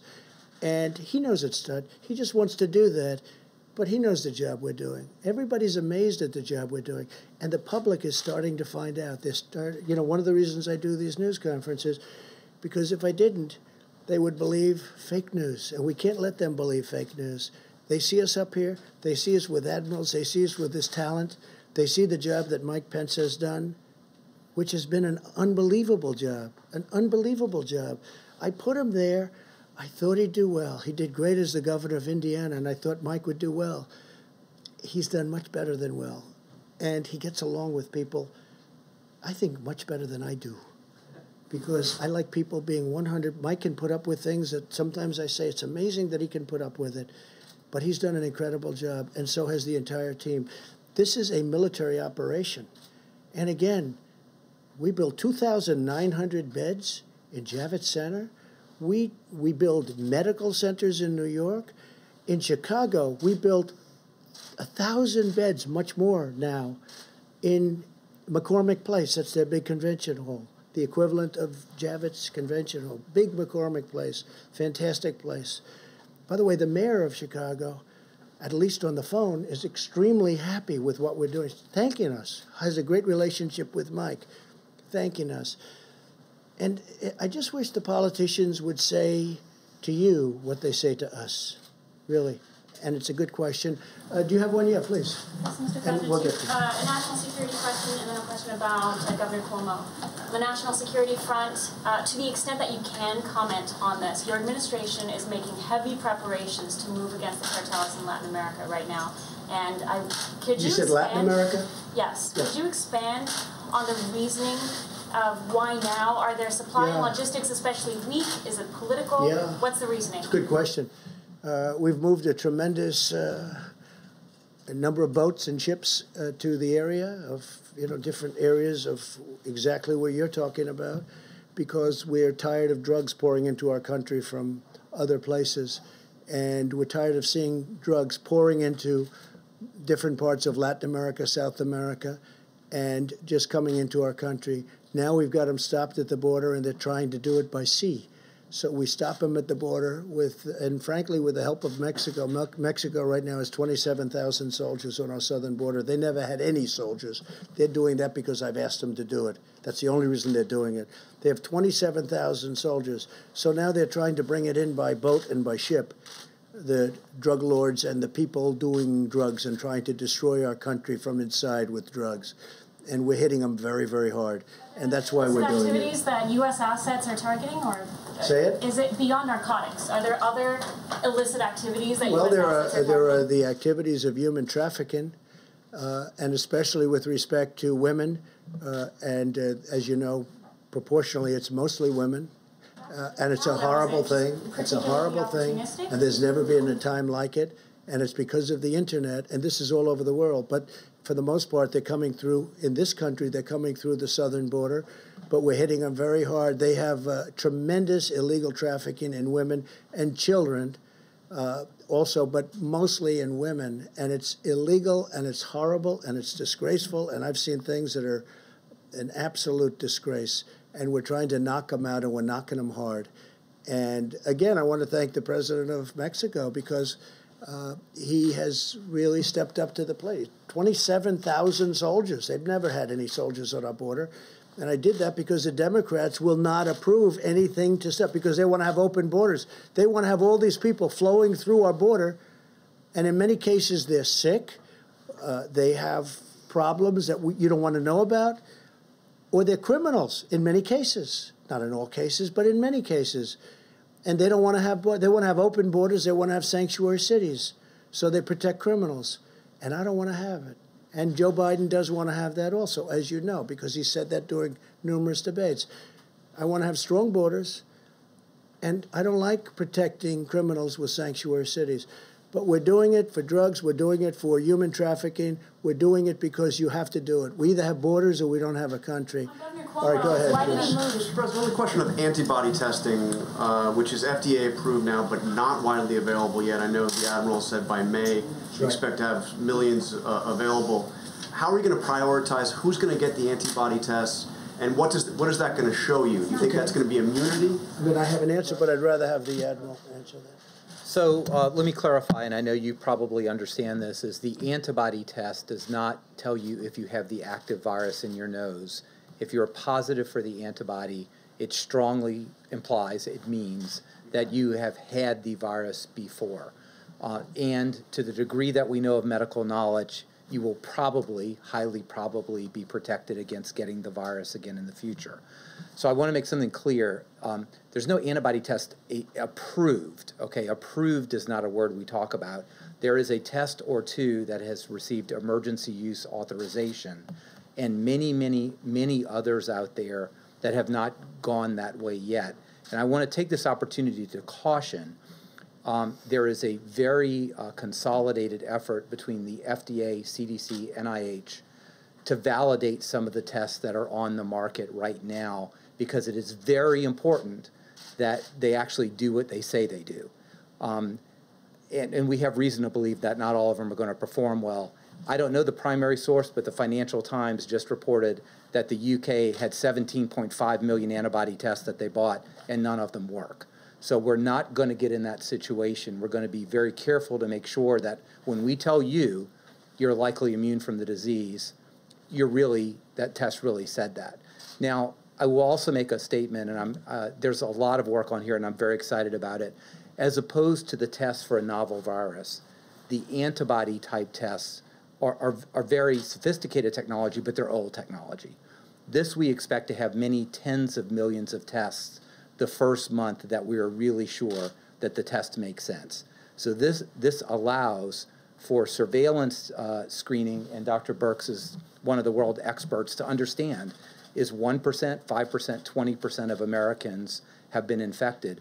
But it also allows us to have very widespread tens and tens of millions of people screened with a finger prick on the spot. By when? Just to be by May, you're saying this will happen? Or so, when? so we're science doesn't run on rails, right? So we need to make sure that the FDA, the NIH, which they're actively doing right now, assure that the test that they're testing really do perform the way they should.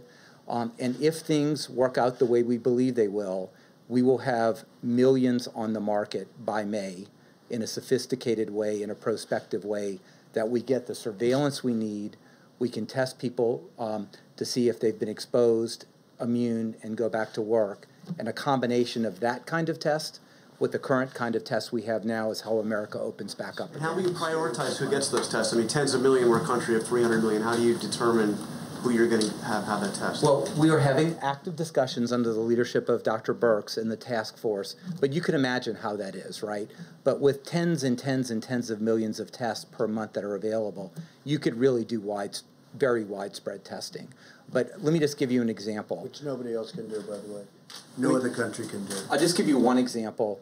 It would be very important to know if the virus is still circulating here whether, for example, a healthcare worker or a long term care nursing home worker is immune from the virus and can't carry it. Very, very important to protect our elderly um, in that situation, but also if you haven't been exposed, to make sure that you really take precautions and maybe take care of the people who don't have the virus and you don't have the virus. So they're very, it's complex, but it's not complicated on how you go about looking this in different uh, segments of society. And I don't want to take too much more time at the podium, but antibody tests are a different thing.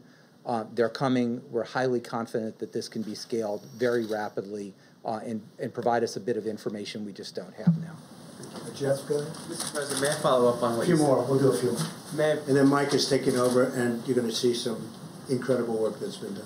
Go ahead, please. May I please follow up on what you said with regard to uh, Captain Crozier before? You said yes. you didn't want to uh, punish him for having a bad day.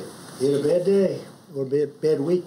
Would, does that but mean? I, I don't. Yeah, I want to. I'm going to look into it, and I, I also I also think our Navy secretary is a highly respected man.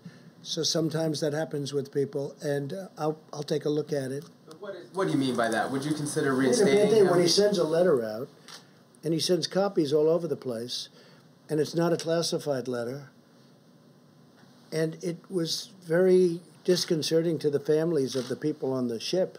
Very disconcerting. So, number one, they get worried and scared. It was weak. We don't want weak. But I'm going to take a look because he's, I think he, you know, looks to me like he's an outstanding guy. I looked, I looked at his whole, just a little while ago, I looked at his file and people have bad days, and we'll take a look at it. I guess my question is, what would you consider doing for him? Well, we'll take a look. I want to look. I want to speak also to the secretary.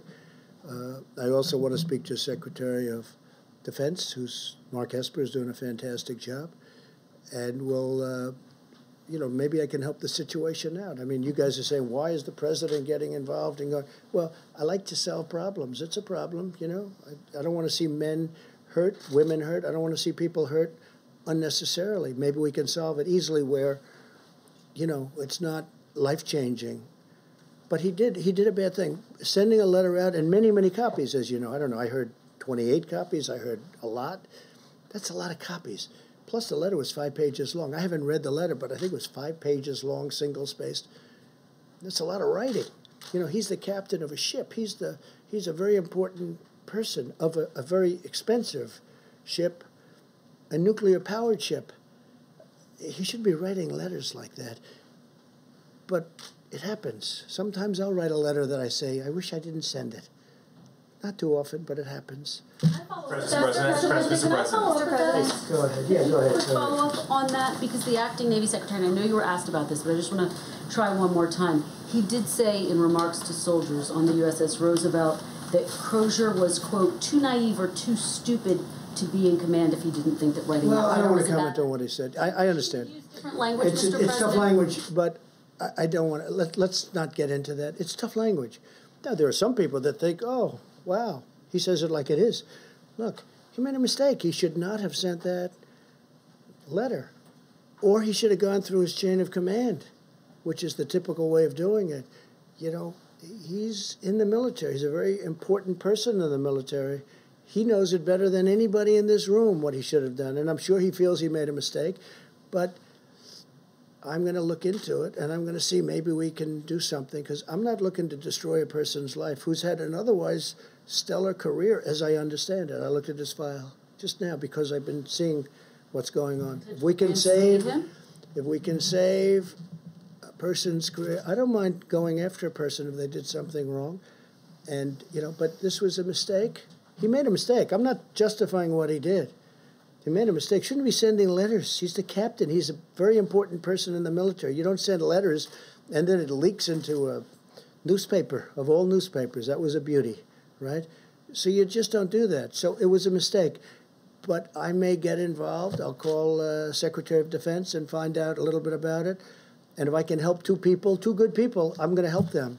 President. Sir, on the tone seems to have changed a little bit since Saturday. Your tone seems to have changed a little bit on the captain since Saturday. With the captain? yeah, has no, it, is it I news mean, look, coverage or did okay, somebody ready? speak to you on his behalf? I, I said when you asked me and when the question was asked the last time, I said, shouldn't have sent the letter. I haven't changed. He should not have sent a letter. And it should have, if there's a letter, it should go classified and it should go to his superior. And he shouldn't be jumping over his superior. sir. Did so um, it hasn't changed in that regard. The only thing that has uh, played right up here with me is that I looked at his record. And he's been an outstanding person. If he wasn't, I wouldn't even be talking about this. He's been an outstanding person. He's had a very exemplary uh, military career. I mean, you know, he started off as a helicopter pilot. They called him Chopper. His name was Chopper. He was a great helicopter pilot. It's a tremendous skill. I know a lot about helicopters. And then he went to F 16s or F 18s, and he was a tremendous pilot. And then he's very smart. He studied nuclear energy, and he was fantastic. And very few people have the aptitude, they have the mentality to do that. Nuclear energy is very complex, very, it's very hard. Very few people can do it. And he did it well. And then he became the captain of a nuclear ship, right? He became of a if replacement cost if you look at replacement cost 18 billion dollars a replacement cost, right? So he's got on a replacement cost basis an 18 billion dollar ship. You know, the President Gerald Ford, very expensive. That's you know, the nearest thing I can think of, but they're spending money on that one like nobody's ever seen. So he made a mistake. He made a mistake. And maybe we're going to make that mistake, not destroy his life.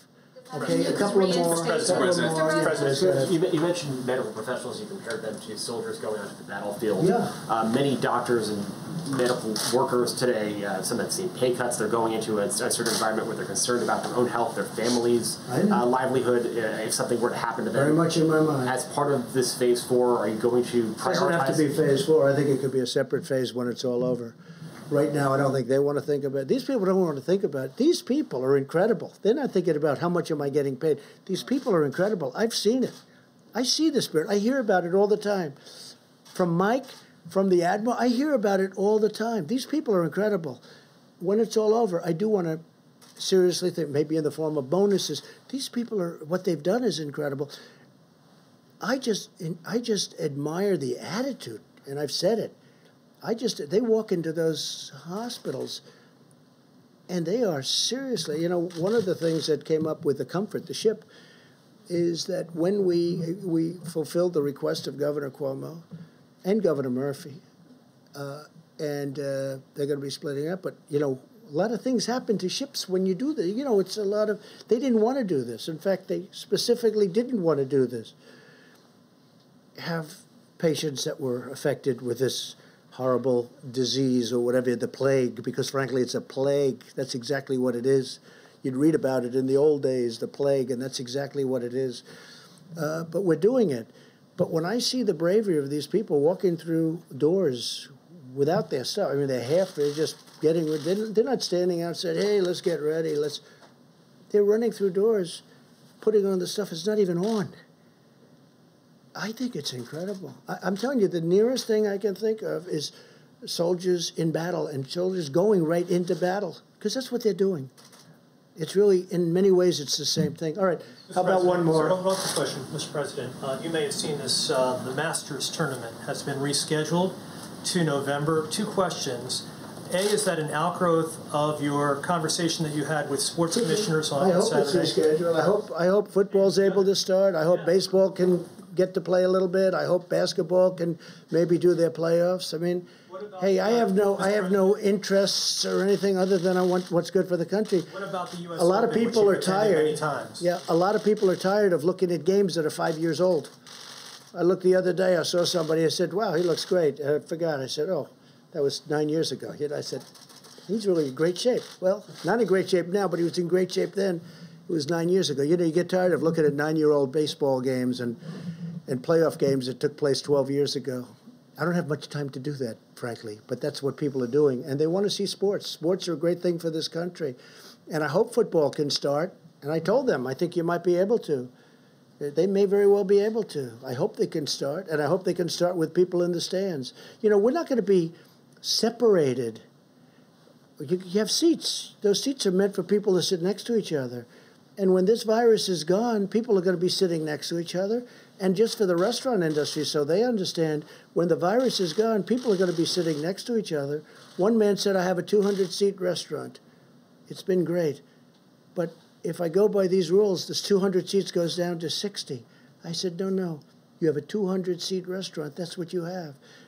But we have to wait till the virus goes away. It wouldn't even do well at 60. Frankly, there's a warmth to it also. There's a warmth, but not when we have the virus in the air. Well, ladies and gentlemen, thank you very much. So I'm going to let our vice president take over. He's got some really uh, interesting uh, numbers, statistics, and I want to thank the admiral. I want to thank uh, Tony and Deborah and everybody else. I want to thank everybody that's working, and I, I, really do. I see a lot of tremendous things happen. The therapeutics, the call I had today was one of the most exciting calls I've had in a long time. And again, I want to wish my best to uh, the UK and uh, the family of Boris Johnson. And we just hope he's going to be okay because he's, he's a fine guy. Thank you very much, everybody. Thank you. Thank you. Thank you, Mr. President. A few updates on the activity of the White House Coronavirus Task Force. Then I'm going to ask uh, Dr. Birx to speak about uh, what we're seeing in the numbers. Uh, we know we are at the beginning of what's going to be a very tough week in America. But as Dr. Birx will reflect, because the American people have been embracing social distancing, putting into practice the advice of state and local leaders and the president's coronavirus guidelines uh, for our country. As Dr. Birx uh, will describe, we are uh, not only seeing uh, remarkable progress in Washington state and in California, where the numbers remain low and steady. That's a great tribute to the people of both of those states and to all of their dedicated healthcare workers. But we're also beginning, uh, we're beginning to see a leveling uh, just at the very beginning. Uh, and she'll reflect on those in just a few moments. Um, a couple of quick updates. Um, at the present moment, the President has approved uh, 50 major disaster declarations, and we'll likely be issuing a disaster declaration for the state of Minnesota before the end of the day. We've distributed more than $4.1 billion to states. And um, right after our incredible healthcare workers, we couldn't be more proud of more than 21,000 National Guard uh, that have been activated um, and, and are, are working in states uh, all across the country. Um, during my conference call today, I, I learned that uh, Governor Brian Kemp is actually using the Georgia National Guard to sanitize and clean up nursing homes. But National Guard are being deployed in a variety of ways all across uh, the country. And uh, to them and to the families of all these citizen soldiers, you have our admiration and our respect. Uh, as, as the President mentioned, our focus remains on the New York metro area, New Jersey, uh, Louisiana, and then Michigan and Illinois. We're watching every area of the country, but those are the priorities today. Uh, and uh, in that spirit, uh, I spoke today, as the President did, with Governor Cuomo of New York.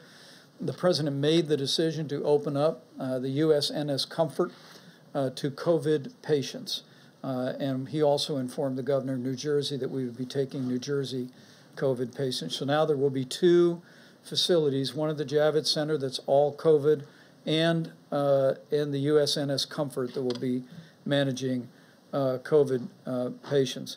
Uh, at the present moment, uh, there by this evening there will be uh, 2,179 medical military personnel in New York City. And over the next two days, that number will rise to 3,000. Speaking with the governor, speaking with Mayor de Blasio, uh, the president and I were informed that uh, while we have surged ventilators, we have surged uh, personal protective equipment, uh, that sending in some relief for healthcare workers was vitally important. And so, again, I want to emphasize that, um, that uh, those are medical personnel, doctors and nurses and medical assistants uh, who uh, are on the scene now and will continue to arrive to a total number of 3,000. Um, uh, I spoke to uh, Governor Phil Murphy of New Jersey. New Jersey is very much in the forefront uh, of the coronavirus in America today. We want to want to commend the governor for his extraordinary uh, leadership in the state. during our briefing today, we learned about the progress that they were making and uh, also about the governor's decision to uh, temporarily reactivate retired healthcare personnel in the state. And just as a reminder of, of all that we're dealing with this weekend, Governor Murphy told me that New Jersey surpassed the number of lives that were lost on September 11th to the state of New Jersey. And uh, it, it breaks our heart uh, to think of that and our our hearts go out to all of the families of the more than 10,000 Americans who have succumbed uh, to the coronavirus. Um, we also, as the president said, we express our gratitude uh, to governors uh, in, in Oregon and Washington State yesterday for, uh, for donating ventilators uh, to help uh, the states at the epicenter of the coronavirus. Governor Gavin Newsom of California donated 500 ventilators. Uh, and uh, I just learned that uh, those will be going 200 to the state of Maryland, uh, 50 to the District of Columbia, 100 to the state of Delaware, 100 to Nevada, and we'll also be deploying uh, the remaining 50 uh, to the Northern Marianas Islands and to Guam. And we want to thank Governor Gavin Newsom. The state of California has provided extraordinary and compassionate leadership for their citizens. Uh, they're making progress. They're, as the governor said the other day, they're not out of the woods yet, but the numbers uh, speak for themselves, and the generosity of the people of California and the governor is gratefully uh, received. Um, beyond that, before I recognize uh, Dr. Birx, let me um, let me just say that um, uh, at the beginning of this challenging time, uh, we want to we want to challenge every American to continue to do what every American can do. And clearly, what we see in Washington and California, and what we are just beginning to see elsewhere, um, is put into practice the social distancing uh, recommendations of the coronavirus guidelines for America. Listen to your state and local authorities. Uh, we really do believe that, that while this will be a week of heartache, um, it also is a week of hope. And as we see some of the cases beginning to level just for a day or two, it is our hope that what we have seen begin in the greater New York area and even in Louisiana and elsewhere will become a trend. But it only becomes a trend if every one of us continues to take ownership and continues to do our part for this 30 days to slow the spread. Uh, with that, I'll recognize Dr. Birx for the latest data, and then we'll take questions. Thank you, Mr. Vice President. Um, I think you heard very clearly our concern in the New York, New Jersey metro areas. This also includes Connecticut and Long Island. Um, as we talked about, we did see a significant increase in Sussex County over the weekend. Um, the weekend numbers are always difficult. I want to be clear on that because sometimes case reporting is not as accurate over the weekend. So we'll be watching very closely today's numbers and Tuesday's numbers. We're also very course focused on the New Orleans metro area, and that includes the three parishes of Jefferson, St. John's the Baptist, and New Orleans proper, and of course the Detroit area, um, which is Oakland and Wayne. Um, as we mentioned before, we're continuing to track very closely out of concerns of it potentially reaching logarithmic phase in the Chicago metro area, the Boston metro area, the DC and Baltimore metro area, Indianapolis, um, the Denver area, and two regions of Pennsylvania, Philadelphia, and the Pittsburgh area, as well as Dallas and Houston in the Texas area had a very encouraging call because we also don't want to miss anything. Remember, I showed you a lot of states were very much under 25 and 50 cases per 100,000. There were some a few standouts that we were concerned about, which was Vermont, New Hampshire, Idaho, and Montana. We had excellent calls today with their health commissioners, and they're um, really were able. They're on top of the situation. These were um, micro outbreaks that occurred um, due to ski events and weddings and nursing homes, and they were able to describe in critical detail the um, incidents and how they're tracking and tracing. So they are still doing full contact tracing through those areas, and I just want to applaud um, these this so both a rural and metro problem, and I really want to applaud um, how many of the states that may have smaller populations are approaching this. That gives us encouragement of how we can talk about beginning surveillance activities at the same time we're following these very clear outbreaks and ensuring that there's full supplies based on the very granular data that we're utilizing. And I just want to thank the mayors and governors who get us that granular data and allows us to make these deep interpretations across all of United States. We know each governor is concerned about their areas, but these metro areas cover different areas. So the Philadelphia area also includes southern New Jersey and um, Delaware, and so we have to really look at things very much as both the metro and the communities that surround those those metros. And so all of those people, we ask you again um, throughout the United States to follow these very clear guidance. I want to just recognize both HHS, and you heard about the, uh, the work that Admiral Giroir is doing, the work that Dr. Hahn and Administrator Seema Varma, uh, Verma are doing, and also Administrator Engels in the work of HRSA to really ensure that our federally funded clinics are actively engaged in all of these aspects. But I also want to recognize the military, the medical corps, the nursing corps, and the medical subspecialty corps these were my brothers and sisters for 29 years. It is highly unusual for the active force to be called into a domestic situation. I think that shows you how seriously we're taking this at the federal government level. In my 29 years in the military, I was never deployed domestically. So this is um, showing you how serious of an event we take this. If the military is deploying domestically, it is another reason for every American to be following these guidelines.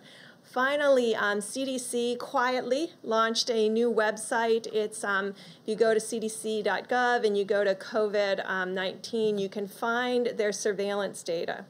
This surveillance data is bringing together our influenza-like illnesses with their syndromic management databases so that you can track the respiratory disease across the United States. The states are used to using this system.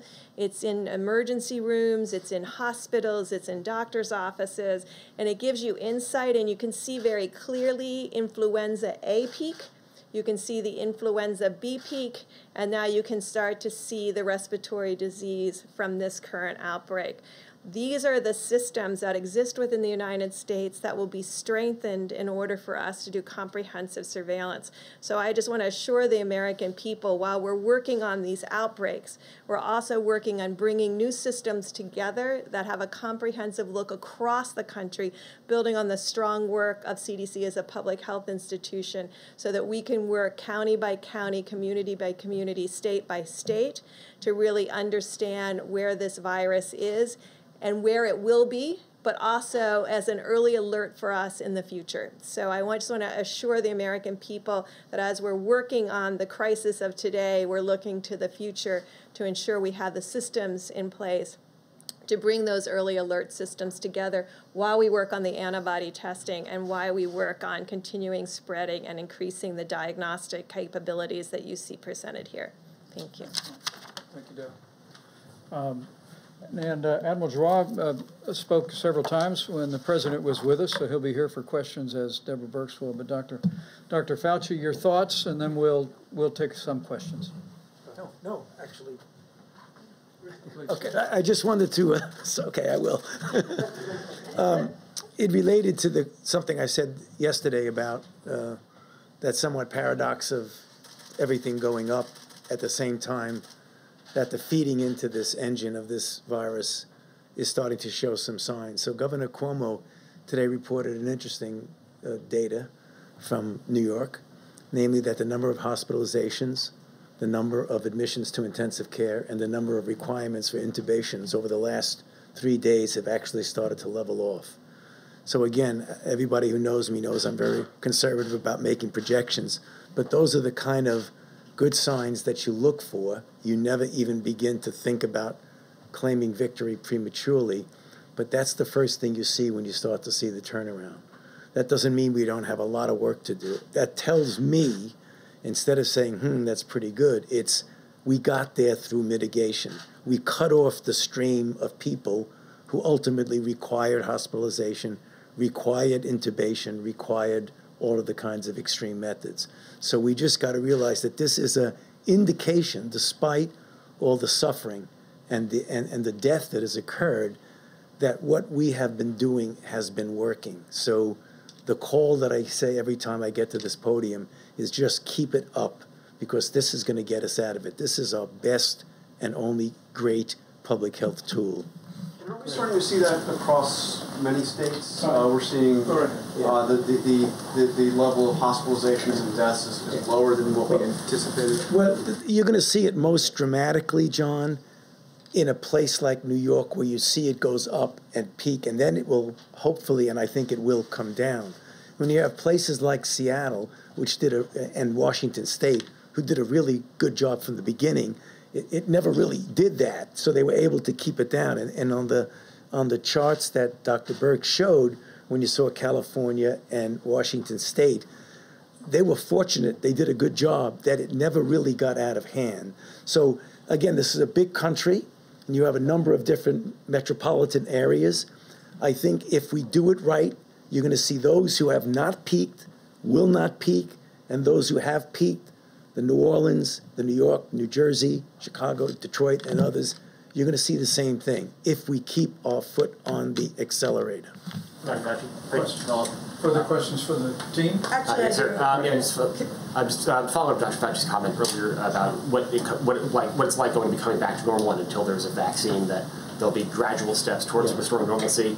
Yeah. Under that, you know, short of a vaccine, does putting 80,000 people, fans, uh, spectators in a, in a sports stadium or 25,000 uh, politicos in, a, in an arena for a political convention this summer make a lot of sense. This, the, those sorts of things require a vaccine to fully protect the American populace. No, I don't think that you're going to have to say that the country cannot get back to a real degree of no- normalcy until you absolutely have a safe and effective vaccine.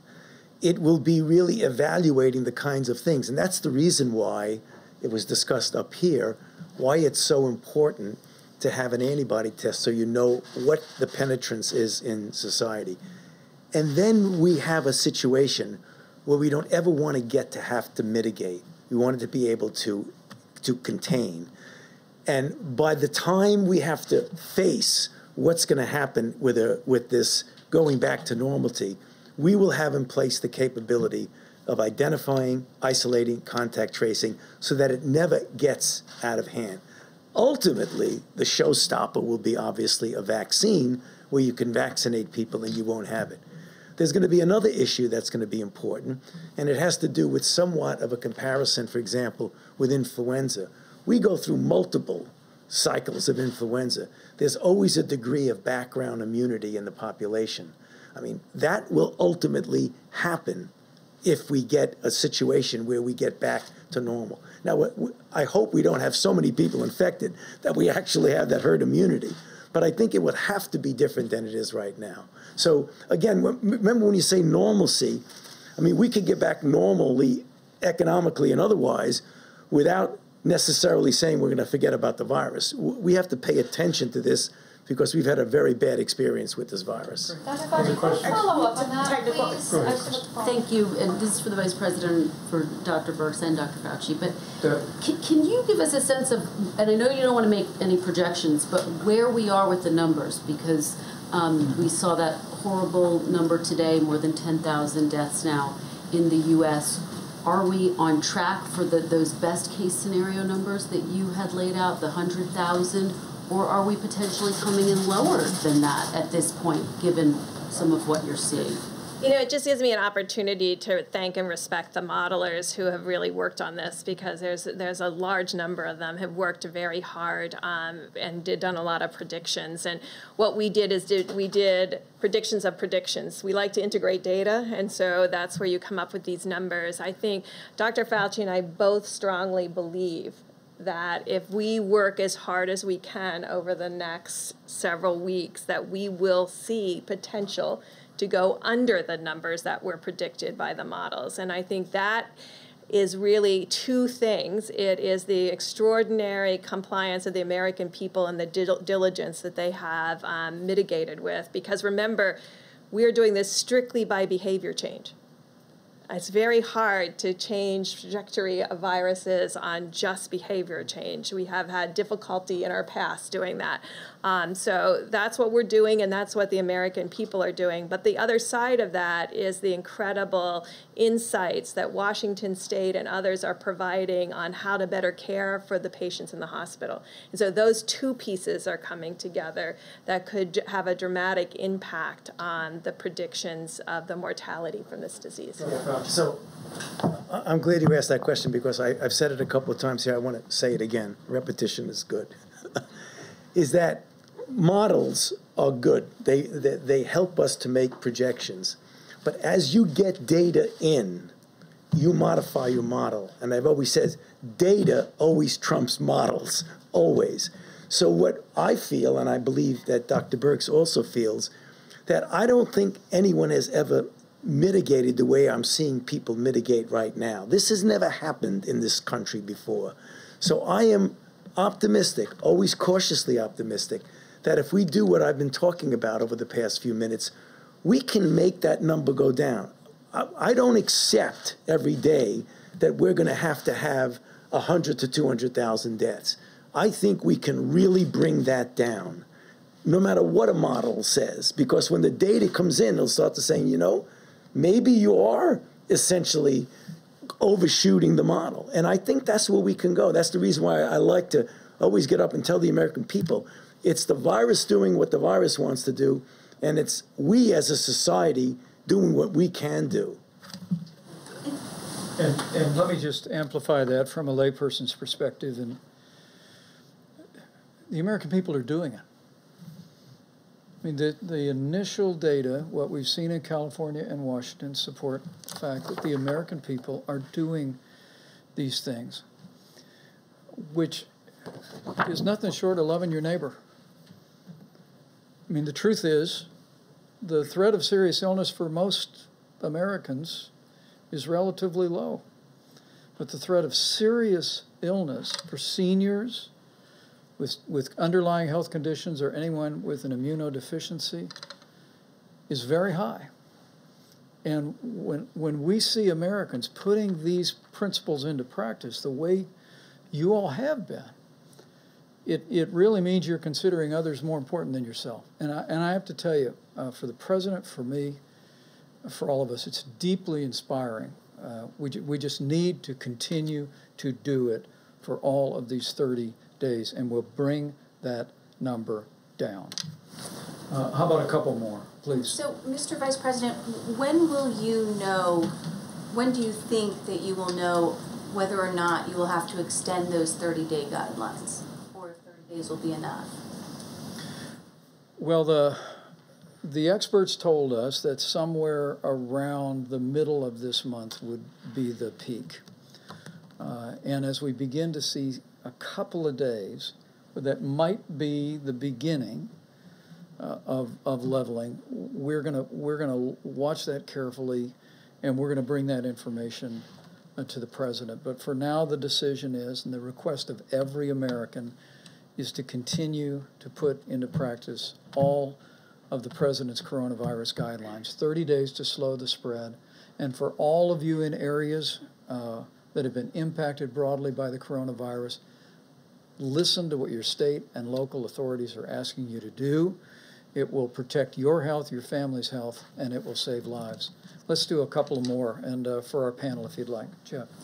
More of a personal question, but uh, Dr. Birx, can you tell us if your granddaughter's okay? And yeah, I'd like to know too. Well, thank you. Um, due to her, the great care of my 91 year old nurse mother and my daughter, um, she's down to like 100 to 99 now, but it was three days of 104 and 105, which is, you know, babies can do that, but it's very scary, especially when I couldn't assure myself that she was fine. So it was just some sleepless nights for me and them as they kept our fever down. So thank you for asking. You have this, the virus? Oh, or? no, I'm sure it's roseola or something. Um, they have not been out of the house. Um, they're not allowed out of the house. Um, they've got two granddaughters under one, two and a half almost, and one only 10 months, and my 91 year old and 96 year old. So no one is allowed in that house or out of that house because there's too much precious cargo inside the house. How about how about one more one more question? We'll let Thank you you, all. Mr. Vice President. Uh, for whoever wants to answer this, it's a technical question. So mm. FEMA says that it is in the process of distributing 90% of each state's allocated supplies for the National Strategic Stockpile. And that allocation is determined based on population by the last census in each state. And the other 10%, it says, is going to frontline healthcare workers serving in the federal response efforts. So where, where are those healthcare workers in the federal response? And do you envision a scenario in which you could start giving states more supplies from the National Strategic Stockpile? Uh, you know, it's it's a really good question, and uh, let me say the Strategic National Stockpile, and I'm going to have Admiral Giroir speak about his piece of that. Um, uh, is has been largely um, uh, deployed. We are continuing to replenish it in part with a small portion of what's coming in from around the world. You've heard about our air bridge, now more than 50 flights that have been scheduled that are bringing millions of supplies into the United States. What we're doing is taking less than 10% of that, put it into the strategic national stockpile so we have that to basically provide for states uh, uh, on an as needed basis. But the other 90%, uh, that, that system that I just described earlier when the president was here, is working with the six major medical distributors in the country to deploy those resources to New York, New Jersey, Connecticut, Louisiana, Michigan, Illinois, the exact priority that you just heard uh, Dr. Birx describe and that the data informs. And those decisions are being made every single day. And so while, while if a hurricane uh, hits uh, Florida uh, or, or tornadoes or flooding tear through the state of Indiana, we're very accustomed to FEMA coming in, drawing from the national stockpile, providing specific resources. In this case, with a nationwide effort, what President Trump directed us to do was literally marshal the resources of the full economy uh, to be able to make sure that we can meet the needs for personal protective equipment, uh, ventilators, uh, and, and all manner of supplies. And we're doing that in, in a small way through the Strategic National Stockpile, but in the largest way through that control tower system that Admiral John Polowczyk is, is running for us, that is deploying those resources and, and making sure they're going, going straight to where they need to go. And as I said earlier, those decisions are being informed by the data, and they're literally being made by our team at FEMA on a daily and sometimes hourly basis. And we'll continue to keep you informed as we did today about where some of those are going. But let me let uh, Admiral Giroir finish that answer. I don't really have much more to add to that. The Vice President is certainly well informed about that. Um, and I want to assure you that all the sourcing around the world, if it's there, we're putting it in our supply chains. We're buying more. Manufacturers are stepping up to the plate. And this is going not just by percent allocation, but it's going to the exact places that need it in the quantities that they need to take care of patients. And we want to make sure um, this is a two way street. We get the data in from individual hospitals to know exactly what their burn rate is, exactly what they need. And we want to make sure that they feel comfortable that they're going to have supplies because they will. Because part of this is about potential shortages other places, some places. Most of it's about a fear of a shortage. If I'm a physician in an ICU and I'm not sure that it's going to be there, that's going to scare me. It's going to scare my nurses. So we want everyone to have that assurance that we will provide you what you need over weeks periods of time exactly to your need. And Admiral Polowczyk and his team, and again, it's all military in there. I mean, he is the logistics guy for the Joint Chiefs of Staff, right? This is what he does. He is a wizard. Um, he has a. I, there are more stars around me in the in the DoD part of the military than I've generally seen outside of the Pentagon. This is really being run as a military operation. I'm in the U.S. Public Health Service. So we're part of HHS. The Surgeon General and I have the honor of running that service. We are shoulder to shoulder in the field, in the military hospitals with everyone else. There are only 6,100 of us. 3,000 are doing direct patient care on a daily basis. We take care of the Indian Health Service, the Bureau of Prisons, those in detention at the border, et cetera. That's what we do. The other 3,000, over 2,000 of those are in the field already taking care of patients directly, and we have more going out the door every day. And, and if I could just follow up on that very quickly, then is it even worth then governors writing into FEMA if they've already received their 90% allocation and you're getting data directly from the hospitals to ask for more at this point? This is this has been a very cooperative interaction. I, I bet I talk to five governors a day and we talk out we talk out the issues and understand what they what they perceive in their state.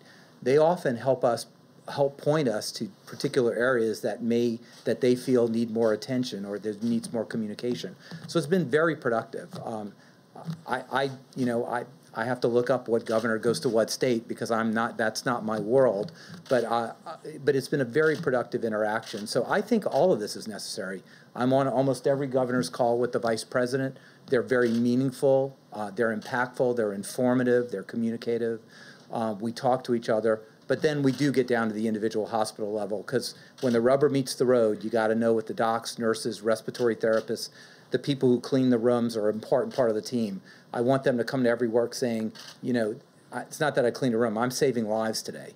And they are saving lives by keeping uh, the viruses off the surfaces and reducing transmission. So you've really got to get that granular, and we're to a point with Admiral Pease. You have two admirals with the worst pronounced names in the world, so Admiral P, Admiral G, but Admiral P's team really has this covered down to the individual hospital level. Thank you, sir. Let me say, just by way of closing, because I thought I thought that last question was helpful. Um, we're interacting with governors every day, seven days a week, uh, and and we welcome that. And while there are some resources in Strategic National Reserve, we spoke about ventilators. We have some 9,000 ventilators on standby. Um, uh, we also have this vast array through the commercial system that when we hear from governors, we're identifying the needs. They're working every day to identify their hospital capacity. We went over governors today saying we need to know we need to know what your capacity is, what your normal capacity is, what your surge capacity is. We need to understand um, what what your equipment uh, complement is across the state. And governors have been doing this; they've been assembling that information. But I, I want to tell you, the governors across this country in both political parties have been doing a remarkable job. Um, and the president's grateful, and I'm grateful. And I, I just want to know that those healthcare workers that they're serving uh, and the families that those healthcare workers are serving uh, can be confident that we are going to do whatever it takes to get them what they need when they need it. And every governor is working in that regard, every hospital administrator is working in that regard. And the opportunity that, that we have, because the American people are stepping up so strongly, uh, and and putting others ahead of themselves. They're, in most cases, they're uh, they're they're acting in a way uh, that that puts the health of others first. Um, we're we're more confident today than ever before that we're going to be able to provide our healthcare providers and the states that are impacted with the coronavirus with the resources and the support they need uh, to meet this moment. And we're just going to continue to work our hearts out um, and uh, and make that a reality. You know, I, but I have to end with just a reference to the healthcare workers. I, uh, you've heard these doctors talk about them. They're all healthcare people. You've heard the president talk about them. You all have seen them. And uh, uh, to think what, what these healthcare workers, doctors and nurses and medical assistants are doing every day, uh, it inspires us uh, to get up early, to stay up late, to keep working, to make sure they have what they need to be able to continue to do their job courageously. Um, and I, I know I speak on behalf of, uh, of every American when I say how grateful we are for each and every one of you. And, um, uh, and in this very special Holy Week, uh, I know millions of Americans are praying for our healthcare workers. Um, I saw a picture that I, I sent out uh, last night on, on Twitter. It was an article about a series of cities where doctors and nurses had paused to pray for the patients and the families that they were ministering to. And I just want to say to all those healthcare workers, I know there is a chorus of prayer going up every day for all of you. Uh, and with your continued courageous service uh, and with God's help, we'll get through this. And we'll get through it together. Thank you all.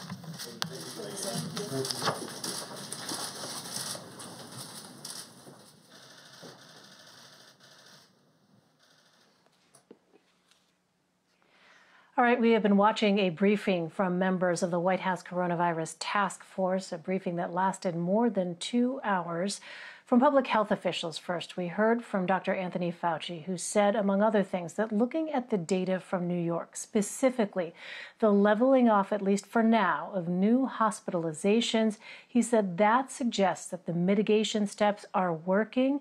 He said, We got there through mitigation. Quote, this is going to get us out of it, referring to the coronavirus crisis. He was also asked about the notion of the country returning to some kind of normality in the future, and Dr. Fauci said, quote, if, be, if back to normal means acting like there never was a coronavirus problem, I don't think that's going to happen until we do have a situation where you can completely protect the population.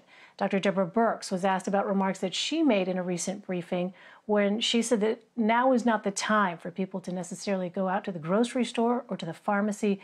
What she said today was that if you can send one person, the entire family does not need to go out uh, on these kinds of occasions to the grocery store, to the pharmacy. She said this is a highly transmittable virus. Maybe once every two weeks you can do a pharmacy and grocery store shop for the whole family. Um, but there were a number of other statements made by President Trump. And for that, let's go ahead and bring in our CBSN political reporter, Caitlin Huey Burns, to help us sort through what was said uh, by officials, including the president. Um, Caitlin, I know you've been listening and watching along with us here, uh, another lengthy briefing that started with the president. Um, I want to first ask you about a line of questioning, Caitlin, that the president clearly did not like. When reporters tried to ask about an HHS uh, Health and Human Services Inspector General's report that found American hospitals are dealing with severe shortages of medical supplies, also found issues uh, with testing. The president went after reporters who tried to ask about that Inspector General's report and did not necessarily address the substance of those questions. Uh, what more can you tell us about what the president had to say about that? Yes, he's been very dismissive of any criticism of his administration's handling of coronavirus and especially of this issue of testing. The Inspector General's report uh, was taken at the end of March and it found a variety of issues that these hospitals and these medical workers at the front lines are facing. And one of those issues uh, is the either lack of testing or the amount of time it takes to get testing done and get it back to people and to be able to uh, show who should be quarantined, who should be taking, uh, who they should be taking in, who has uh, tested positive. So these issues of testing have been really critical. And we've heard that from medical workers. We've also heard that from governors earlier on, saying that the lack of testing really makes it difficult to make any sorts of uh, longer term decisions and decisions about care and uh, decisions revolving the, involving the economy. Uh, so this was a really critical point because this inspector general's report outlined a variety of different issues that these hospitals are facing. At CBS, we've all been covering these issues as well. You could see uh, on CBS this morning, earlier today, going inside uh, a hospital and these uh, medical professionals telling uh, um, reporter David Begnaud that they didn't have the supplies that they needed. They were wearing, um, you know, equipment that wasn't uh, official protective equipment, and we keep hearing this mm-hmm. line. But the president uh, seemed to just kind of hark on, um, pick up on that. Uh, word inspector general and just immediately uh, kind of dismisses it. The inspector general was appointed um, by his administration. Uh, she has been serving uh, the IG's office uh, since 1999, so across a variety of different presidents and administrations. Uh, and so it was it was interesting to see him go after her, trying to attach her to the Obama administration when she was actually appointed during his tenure. Uh, but what her report found was that there are these hosp- there are these issues in these hospitals. There have been these issues with testing, uh, and this is something that's been uh, borne out in reporting. I also want to ask Caitlin about uh, the president's remarks at the top of the briefing, where he sent his best wishes to British Prime Minister Boris Johnson, who was diagnosed with the coronavirus, is now in the intensive care unit. The president said that Americans are all praying for his recovery.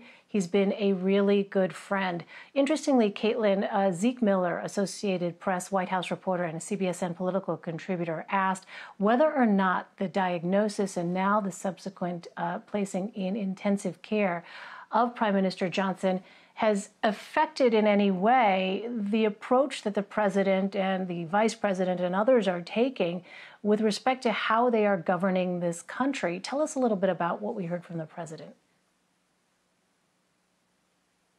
It's an interesting question because, as you've seen in those briefings, um, they are there together at the same time during these briefings. The president usually speaks first, and then uh, Mike Pence speaks, uh, but they are together along with their medical professionals. Uh, the president talked about his relationship with Boris Johnson, their uh, friendly. Uh, they have a lot in common, actually. Um, and so I think you saw the idea that um, Prime Minister Johnson was now in intensive care really struck the president. Um, he said over and over again that, that this is a really, really big deal, that this is a really tough uh, thing that he is going through. Uh, and I think that kind of had a uh, jarring type of nature, and you could kind of he- hear him uh, feel that. But there is this question uh, about, you know, how this hits home. Uh, the president and the vice president have been tested, the president twice for coronavirus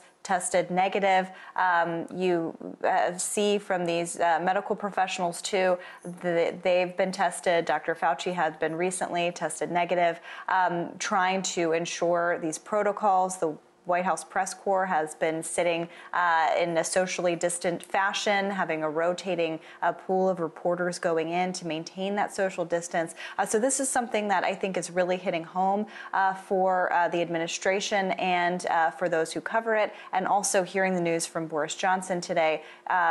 you know, this this virus, as many have said, does not discriminate in that way. Finally, Caitlin, before we let you go, I just want to get your thoughts on uh, what the president said today with respect to former Vice President Joe Biden. Um, you know, this is an administration, the current one, that has been quite critical, the president has been, of the Obama administration's handling of uh, crises like H1N1. Um, but what is it that we heard today? This is an interesting uh, conversation that took place. That's right. He's been very critical of the Obama administration, and he has referred to Joe Biden several times from that podium as Sleepy Joe Biden. That's his nickname for him. Uh, so it was really remarkable that these two men spoke today. Uh, the coronavirus, like everything in public life, has really en- upended the, the presidential campaign. Joe Biden has been uh, in his Wilmington home for about a month now, hunkered down, trying to figure out ways to uh, talk and to and engage supporters. And one of those ways is that he has said that he is coming up with uh, strategies, that he wanted to share those with the president and the White House. Uh, and so today, the two men spoke. And uh, the president called Joe Biden a really nice guy. He said they had a very warm conversation, that he really enjoyed the conversation, that it was about 15 minutes long. He said Joe Biden offered some advice, and Trump said it's not, I might, I probably you know, I, I, might not consider that advice, but that's that's what he offered. Uh, and they didn't really get into details of those conversations. The Biden campaign didn't get into details either. Uh, but this was kind of a significant moment because the two are poised to be uh, rivals this November. Uh, Joe Biden uh, hasn't yet clinched the nomination outright, but he is certainly headed uh, on that path and is likely the Democratic nominee. And this comes as both Democrats and Republicans are trying to figure out what the November election might actually look like, if there can be uh, in person voting. Democrats have been calling for mail in ballots or an expansion of that in November. And of course, uh, Wisconsin's. Um, supposed to hold an election tomorrow, and that is uh, in a muddled state uh, as well. So interesting that the two men spoke. The president had very kind words for Joe Biden. I don't anticipate that that kind of tone will remain uh, throughout the coming days and through this campaign, but an effort uh, by both to to talk and an effort by the Biden uh, campaign to show that they are working on this issue uh, and want to be helpful in some way. So we'll see if that lasts as well. All right, so much uncertainty on so many levels. Caitlin Huey Burns for us. Caitlin, terrific to see you. Thank you so much. Take care. And we are going to take a quick break. More news for you straight ahead. Stay with us. You're streaming CBSN, CBS News, always on.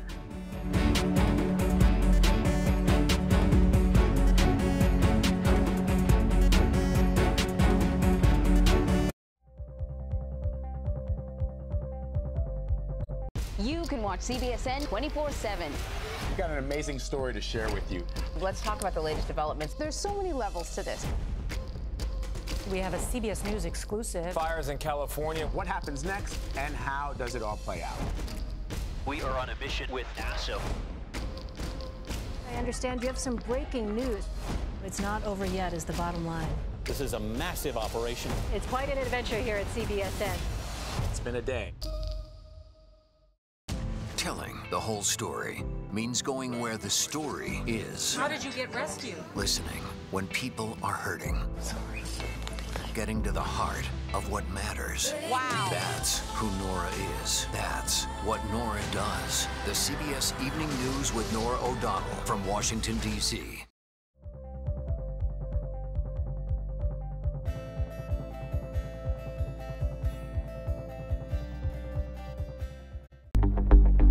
something so fascinating about watching suspected criminals mm-hmm. kind of at work.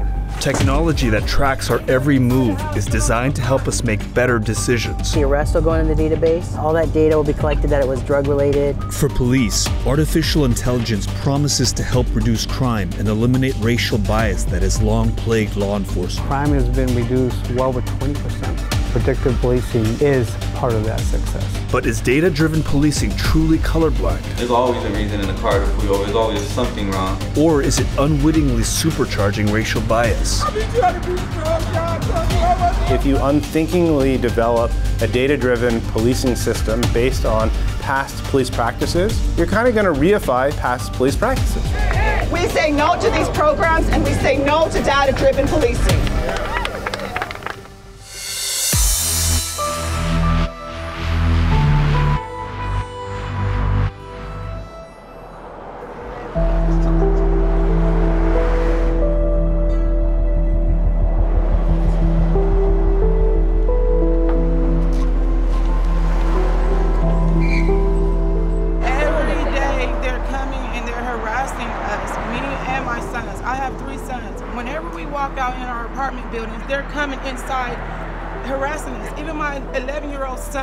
Son. Sophia's a mother of three boys, and her middle child was just arrested for a robbery she says he couldn't have committed because he was with family at the time. His case is now pending in juvenile court. Never he play Fortnite, the video game. That's what he do. He don't go outside. He don't hang out or anything. I been trying to be strong, y'all. Told you I wasn't gonna work, but I see The Los Angeles Police Department patrols a population of over 4 million people in a city with a crime rate that's 17% above the national average. More than twice as many arrests per square mile occur in a relatively small section of the city known as South LA. This is one of the most heavily policed parts of Los Angeles. The police station is here. I've already counted like nine bail bond storefronts. The LAPD has a history of disproportionately targeting minority communities like this one, where nearly all of the residents, about 98%, are people of color. A 2008 study by researchers at Yale Law School revealed that for every 10,000 residents in Los Angeles, 3,400 more black people are stopped than white people. And when stopped, blacks are 127% more likely to be frisked than whites. That's despite the fact that frisked black people were 42% less likely to be found with a weapon, and when consensually searched, were 24% less likely to be found with drugs. The same study also found significant discrepancies between how police treated white versus Hispanic residents. You know, I started getting in trouble. I was first arrested like at 12 or 13 years old. And then I ended up catching a felony and like doing jail time. What's up, everybody? Today we're gonna be talking about um, like know your rights. Anthony Robles is a formerly incarcerated youth turned community leader. He works with young people in the area on civil rights training and racial profiling. Fit the description is a common thing they use. How many people have been told they fit the description by a cop? Raise your hand. Almost all of us, right? Do you still get stopped? Yeah, not as frequently as before, but yeah. I was stopped in an Uber as a passenger. So I got in my Uber and we were going down the street. He pulled over the Uber, he told him to stop. And then he comes to the back window and he tells me, hey, what's up, man? Um, how you doing? I was like, what do you, I was like, what? And the Uber driver's even like, what's that about? I go, I have no idea. And he goes, wow, I was like straight racial profiling. He goes, that's crazy. Do you get stopped when you're driving? Yeah. How, how often does that happen? Like maybe once a month or once every other month. But police bias against communities of color has long been a problem nationwide, including in the country's largest police department, the NYPD. We have the lowest murder rate of any city in America. New York's Police Commissioner Ray Kelly defends what's called the stop and frisk policy, which allows officers to detain anyone who they find suspicious. In 2011, at the height of the stop and frisk program, black people were almost six times more likely to be stopped and frisked than white people. But now, police are starting to harness new tools some departments say keep streets safe by just following the hard data.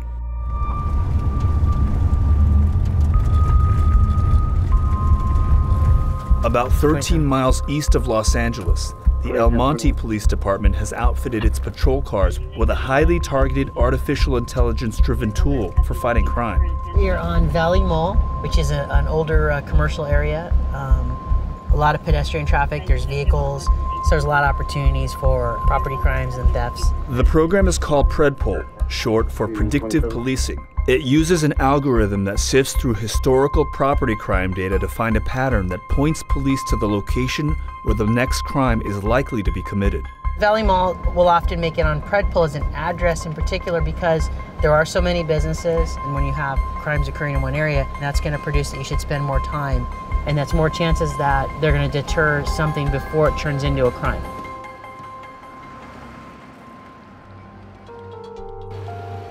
What is the aim of this PredPol software? Ultimately is, is to help just reduce and prevent crime. Is there a quantifiable measure of, of its success? The last 19 months, crime has been reduced well over 20% in the city. That's after a couple years of a spike. So the last two years, over 20%. That's a success. And yes, I, I have to say predictive policing, PredPol, is part of that success.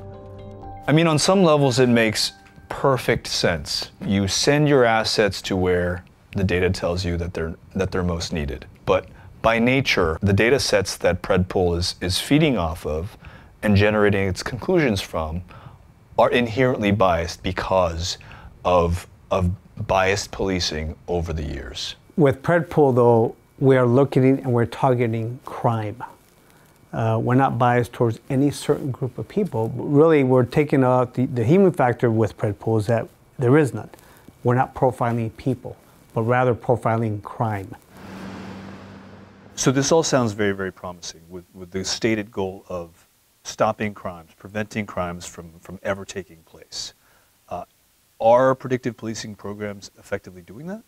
The idea that we can identify using past crime data where a crime will occur in the future. We don't know if that works. We just don't have data on it. But what we've seen in the first iterations of some of these technologies hasn't been a whole lot of foresight, hasn't been a whole lot of thought about what are the inputs we need to choose in order to be able to use and get outputs we want that won't be colored by the problems we know are inherent in lots of uh, policing, especially urban policing. The LAPD is one of the pioneers when it comes to policing, particularly the use of technology. Where have they stood when it comes to the deployment and development of predictive policing? So LAPD was the place where predictive policing was born. Chief Bratton, when he went to LA, was the person who put the green light on the first attempts at place-based predictive policing using Predpol. They also helped pioneer a person-based predictive policing program called LASER. There was Jim Crow, segregation, broken windows, CompStat, and now we are in the era of data-driven, precision-based policing. Yet it still remains the same, the banishment of black and brown and poor people. In contrast to location-based Predpol, Laser targeted individuals most likely to commit a crime by assigning them points based on their personal criminal histories like gang membership, arrests, and so-called quality interactions with police. Individuals with sufficient points are then assigned a chronic offenders bulletin, similar to a most wanted poster, and those bulletins are disseminated to officers. Do you know that LAPD has a secret list of people that they track and they trace? Since 2011, the Stop LAPD Spying Coalition has been fighting against the program filing public records requests, and alerting the public to what they say are biases built into the system. There's a list, Mhm. there's a bulletin of people who are by name targeted by the police. Yes, every field interview card that gets filled out on you, you get a point. So the more often you're stopped by law enforcement and they fill out a field interview card on you, the more points you get. But when we look at stops, in 2017, the black community was stopped five times more than the white community. That's who's getting the points. So, once you're on the list, you're not getting off the list. Well, they claim you can get off the list if you don't have interactions with law enforcement. But if, intera- if the instructions to law enforcement is to find you, follow you, stop you, violate you, how are you ever going to get off the list? You're caught up in a feedback loop. Yeah, and that's a very big implication to have your name and your picture, where you live, who you hang out with, what you do, what kind of car you drive, to be in the hands of a line officer who now has you targeted as a person of interest. So the laser program was designed on the metaphor that they were going to, like laser surgery, remove the